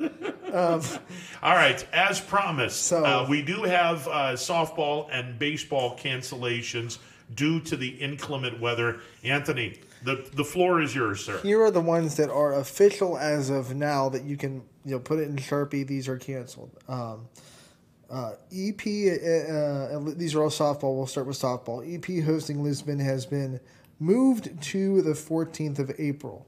Um, Campbell versus Liberty, which is Wednesday, by the way. Campbell versus Liberty has been moved to the 13th, which is tomorrow. Um, Springfield versus McDonald has been moved to Wednesday. Uh, Poland hosting South Range has been moved to Wednesday as well. Um, Jackson Milton versus Sebring has been uh, canceled. The, the the day the makeup date has been hasn't been announced yet for softball.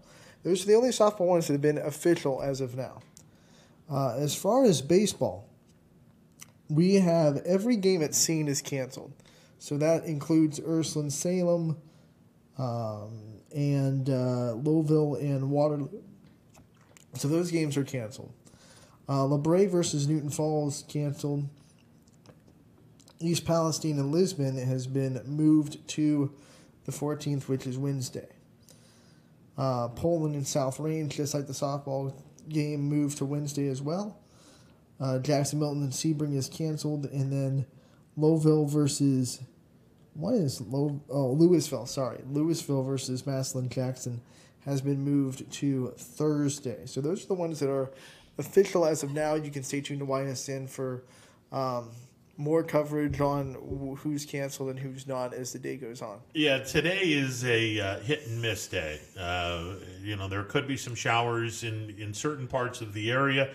Other parts of the area may just have gloomy skies and really chilly temperatures, and uh, it's just not an ideal day to play baseball. Not that uh, tomorrow's going to be absolutely gorgeous, but not temperature wise. All week it's going to suck. Uh, it- as far as the as far as the temperature goes, Especially, the like- entire week is going to be garbage. I love doing games at South Range, don't get me wrong, but that field is wide open. There's not anything to break the wind out there Yeah.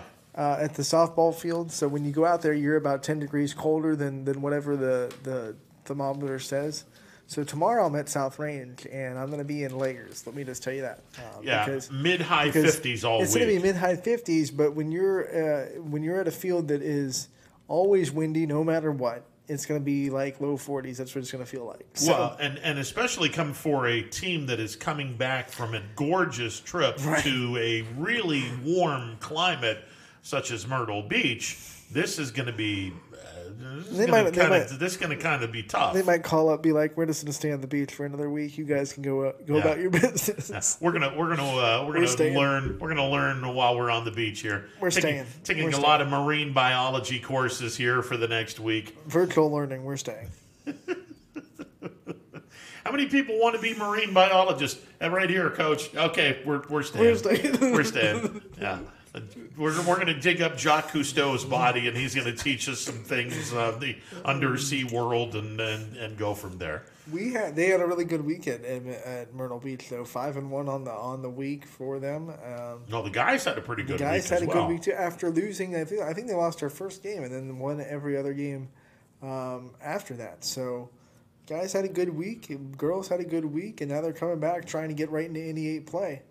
And uh, you know both of them with Pol- matches up matches up against Poland right off the bat. So Yes. we'll see. Yeah, it's uh, it'll be fun to uh, it'll be fun to watch. But you know, again, the weather is going to dictate which games are going to be played, which And games are not going to be played. That's and, just the reality of softball, baseball. I mean, everyone knows that. Everyone knows the weather in Northeast Ohio, and, and you grade accordingly. Um, luckily, the Wednesdays are left open with most of these conference teams, so they can just move it to Wednesday. We were spoiled in a big, big way last week, pretty much. Right. I mean, that, that's you know most that of the was week last weather week was, was, amazing. Outside of Thursday, where I felt like I was going to be in a tornado at Crestview, because I'll tell you. Um, no, I'm not. You've been to Crestview softball, right? You've Uh, it's, that field. it's right next to the Where- right next to the baseball so stadium. they had me behind home plate, which is fine. It's fine, but you have to go up a hill. Yeah. And then you're well, so I'm I'm on the hillside almost. Yeah. Because there's not really it doesn't level. It's just like a big Yep. hill, and it doesn't level until you get to the. Yep. the so I'm on this hill, and they give me like a, a table from the shed that's not exactly the most stable table in the Yeah. stable table. Yeah. So it's shaking a little bit, and, and it's it's dreary the whole game, but it never rains from the first inning all the way until after the top of the seventh. I go into commercial break, the wind starts to really pick up. Not raining yet, mind you, so I go back on the broadcast. First batter, that wind's picking up, the, the camera goes whoop. so the camera, I have to catch the camera, put it back, and then as soon as I put the camera back, the rain starts to come down really hard. The wind is going. Yeah. That table's doing this. Yeah. And my wheelchair, which is locked, starts to shh down the hill. That's when I said we're out. we have to miss the bottom of the seventh inning. I hope Crestview doesn't walk it off because I'd be really upset to miss that. Yeah. Uh, and and we just got all the equipment out of there as fast as possible because the rain hit out of nowhere. We, we were going to stay for the wind because the wind isn't going to hurt our equipment. I mean, we might have to hold it steady. Sure. But once that rain, it came out of nowhere, like bam, pouring, and I was like, "Ooh." Yeah. Out. You know. That's it. And then um, Saturday was beautiful, but it was windy at Poland. Mm-hmm. And uh, we were right behind home plate in that press box at Poland. We got hammered by dirt. Like I had to Saturday night. I So the wind was blowing straight in. I, Saturday night, I spent like two hours cleaning and blowing out the equipment to make sure there was no dirt settling in the. because everything was covered. Yeah. I, I came out of that looking like I just went through a, a sandstorm. Yeah. Um, so, you know, hey, you take what you get. No, listen, it's uh, the weather. We've been spoiled. Uh, most of the weather this year has been really nice. It's been in the high 60s, low 70s, just gorgeous, gorgeous weather that you would expect in late April, early May. Uh, as we're a few weeks ahead, now we're back to where we normally are, which is mid 50s, a little chilly.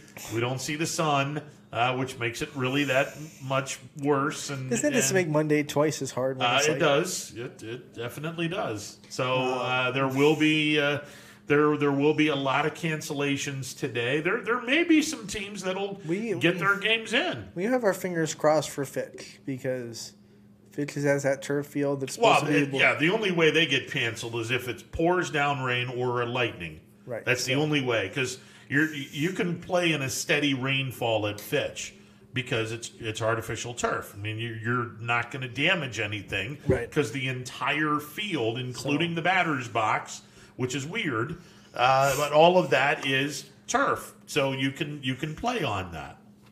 I first time I umpired with on that, I was like, This doesn't feel right. "What? This is weird." You don't really you don't need cleats. No, you you can't wear cleats You on can't that. wear cleats. No, no, no, no, no, no. They they not only frown on that, they throw people out if you wear cleats. Out. You, you don't even think about putting that on. Uh, not in our field. That's you wear shoes that don't have cleats.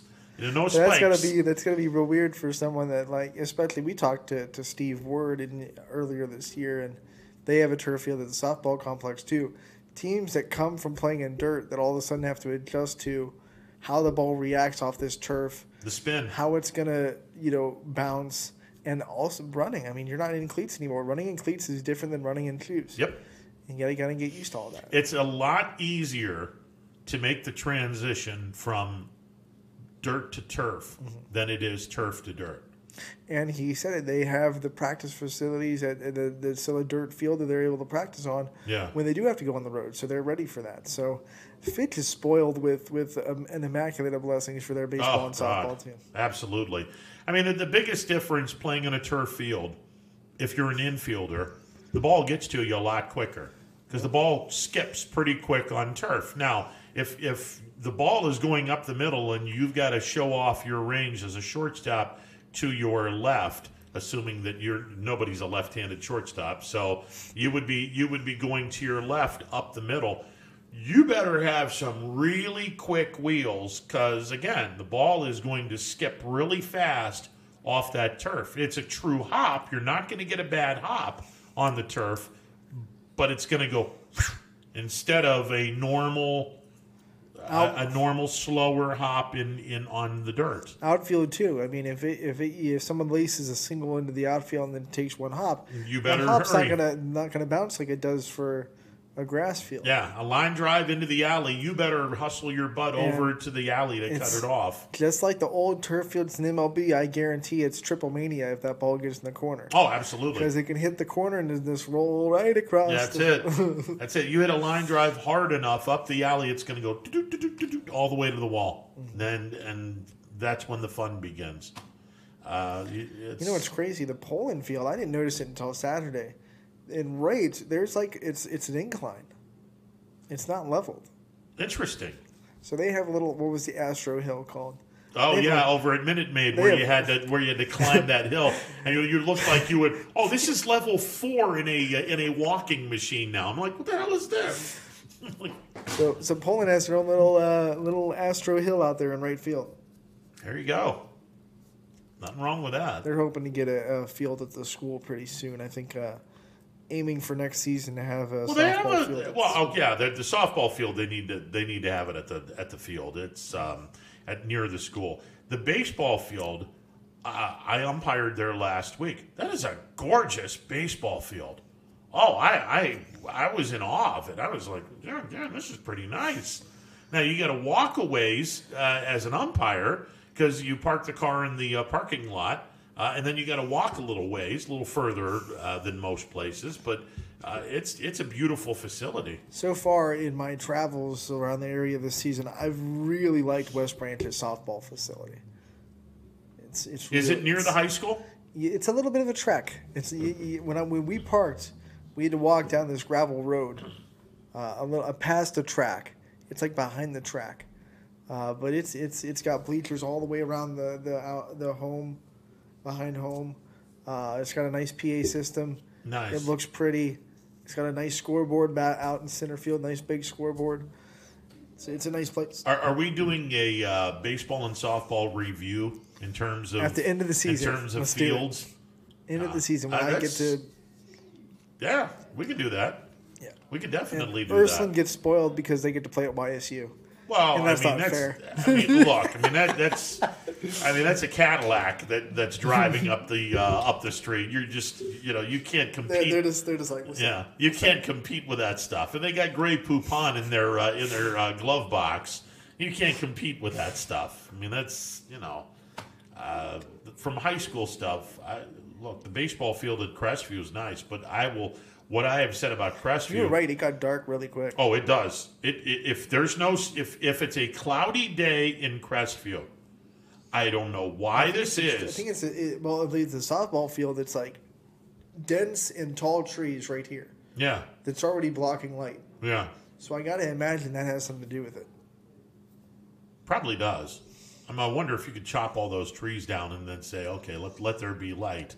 But I think someone someone maybe get a little be uh, The, squir- disappointed. the squirrels would be Uh, upset. yeah, I think they would have picket signs going, "You're not going to steal our home," or they would go, You must be nuts. You're not taking our nuts. Oh, okay. Yeah, yeah. Wow. Don't take our tree, you nut.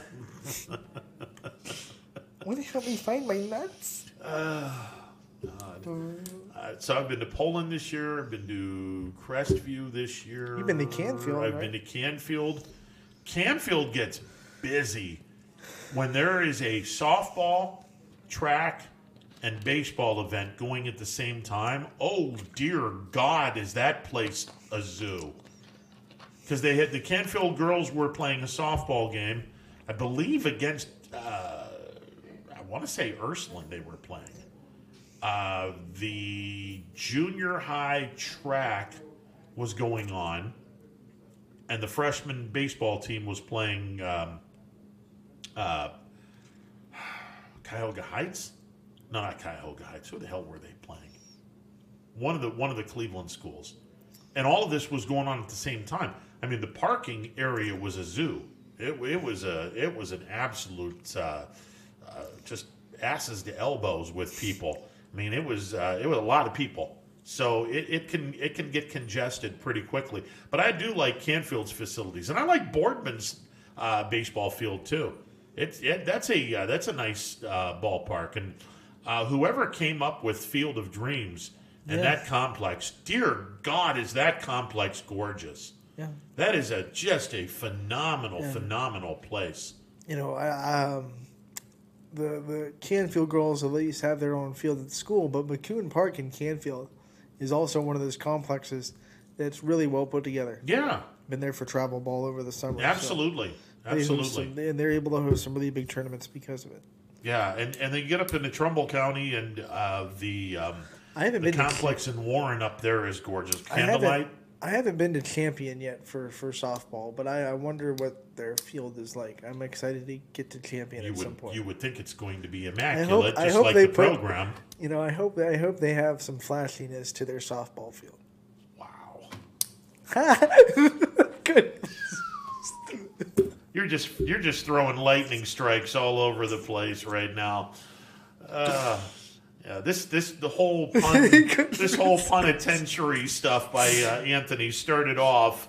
Uh, I want to say was- Thursday, where he started uh, roaring these puns all over the place, and you know, trying to trying to slow down the puns here, and, and it's not happening. Holy smokes! All right, 330-886-0813, the MP Vivo heating and air conditioning hotline open for business. You're getting you're getting sent to the penitentiary. I, I couldn't resist. yeah, I'm I, yeah, that'll be your last words before we give you a life sentence in the penitentiary. I'm gonna. It seemed like a good idea at the time. Yeah, indeed. Uh, we'll take a final timeout. Be back to uh, wrap this one up. Stick around, more to come. Your first and last stop with your tax return should be with me, Tracy Bryden at Greenwood Chevrolet in Austintown. No other dealer sells more cars, finances more, and gets you more for your refund than Greenwood Chevrolet in Austintown. WRS Wealth Advisors is the area's premier wealth and retirement specialist. With our combined 70 years experience and comprehensive wealth strategy, we assist our clients attain their goals. Call 330-965-0370 to learn more about our individual and corporate financial planning services or visit wrswealthadvisors.com. Good luck, athletes! Hi everyone, this is DJ Yoakley with Your Sports Network. We appreciate your support of YSN and welcome you to the YSN family. Our broadcast streams are brought to you live at no cost to you by sponsors that are local to this community. Without the vision and generosity of our sponsors and partners, we would not be able to bring this game to you today. So please support the great businesses and leaders that are making this game possible. And if you're a business in need of great advertising and sponsorship opportunities, feel free to head over to our site for more information on the right fit for you. We are local, we are loyal, and we are live. We are YSN. Ah, the details. Baird Brothers Fine Hardwoods is one fine ride. Perfect cornering, superb handling, sporty and stylish, power to spare, plus awesome mileage. Yeah, jaw-droppingly beautiful lines and well appointed with luxurious trim. Put more oomph in your life and start beholding the molding. Find your home's fine hardwood at bairdbrothers.com. For heating, cooling, and indoor air quality, the Mahoning Valley trusts MP Vivo Heating and Air Conditioning, offering worry-free repair, service, and installation. Call MP Vivo today for a free estimate. MP Vivo Heating and Air Conditioning. We're your energy efficient experts. Planning a project around your home or rental property? Trust the electrical service to the local experts with 62 years of serving the Mahoning Valley. Joe Dickey Electric is your local go to source for responsive, reliable residential electrical work. From everyday maintenance and repairs to new installations, electrical upgrades, and safety inspections, no job is too big or too small. Call Joe Dickey Electric today, 800 549 3976, or visit DickeyElectric.com. That's DickeyElectric.com. Welcome back to this Monday edition of Running Point, presented by Greenwood Chevrolet on Mahoning Avenue in Austintown. Anthony Hartwig looking to swing a bat. I'm just doing some some uh, pectoral stretches. I thought, Pectoral stretches. you know, Wow. get, getting getting the Yeah, I, I think you were trying to show off your Kansas City Royals uh, official Major League Baseball jersey over there. well. Whose whose jersey is that, by the way? this is Alcides Escobar Nice. uh, from back in our World Series run. He uh, he is the best shortstop defensively I had ever seen in minor league baseball. Yeah, he I- made we, a we called him El Mago Yeah. in, in the Royals. he made a play um, in Huntsville, Alabama, when he was still with the Brewers organization that my jaw dropped. His range to his left was always known as being pretty good. They had a ground ball up the middle, and actually to the right field side of the second base bag. Escobar comes flying out of nowhere, makes the grab a step to the right field side of the second base bag, turns his body, throws an absolute BB, and nails one of our guys by a half a step. And I'm like, look at this. I'm like, how the hell did he just do this? That ah. I think that the best play he ever made as a Royal, and it was in Cleveland, and I think Tom Hamilton even gave him uh, a lot of props for it. It was a pop up in foul territory, and they had the shift on, so he was playing towards second base, and he ran from his spot all the way into foul territory to catch this ball on the dive. And the amount of ground he covered to get from there to, to the catch was Yeah. just I mean, it wasn't like a mile high pop up. It was, you know, it was your pop up into foul territory, but he was the only one over there because there was a shift. So he just whoop, He was- hightailed it over to foul territory. He was in the Double A. Um, he was in the Brewers Double A farm team in Huntsville, Alabama, when Sabathia was traded. Mm.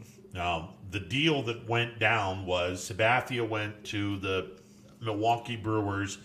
In exchange, the Indians got uh, a superstar that never became anything in uh, the outfielder that they uh, uh, that they picked up. Oh, God, and I can't remember his name. Uh, um, Laporta, Matt Laporta. It was like a 350 hitter that year in the Southern League, and the Southern League was a pitchers league. I mean, it was it was a pitchers league.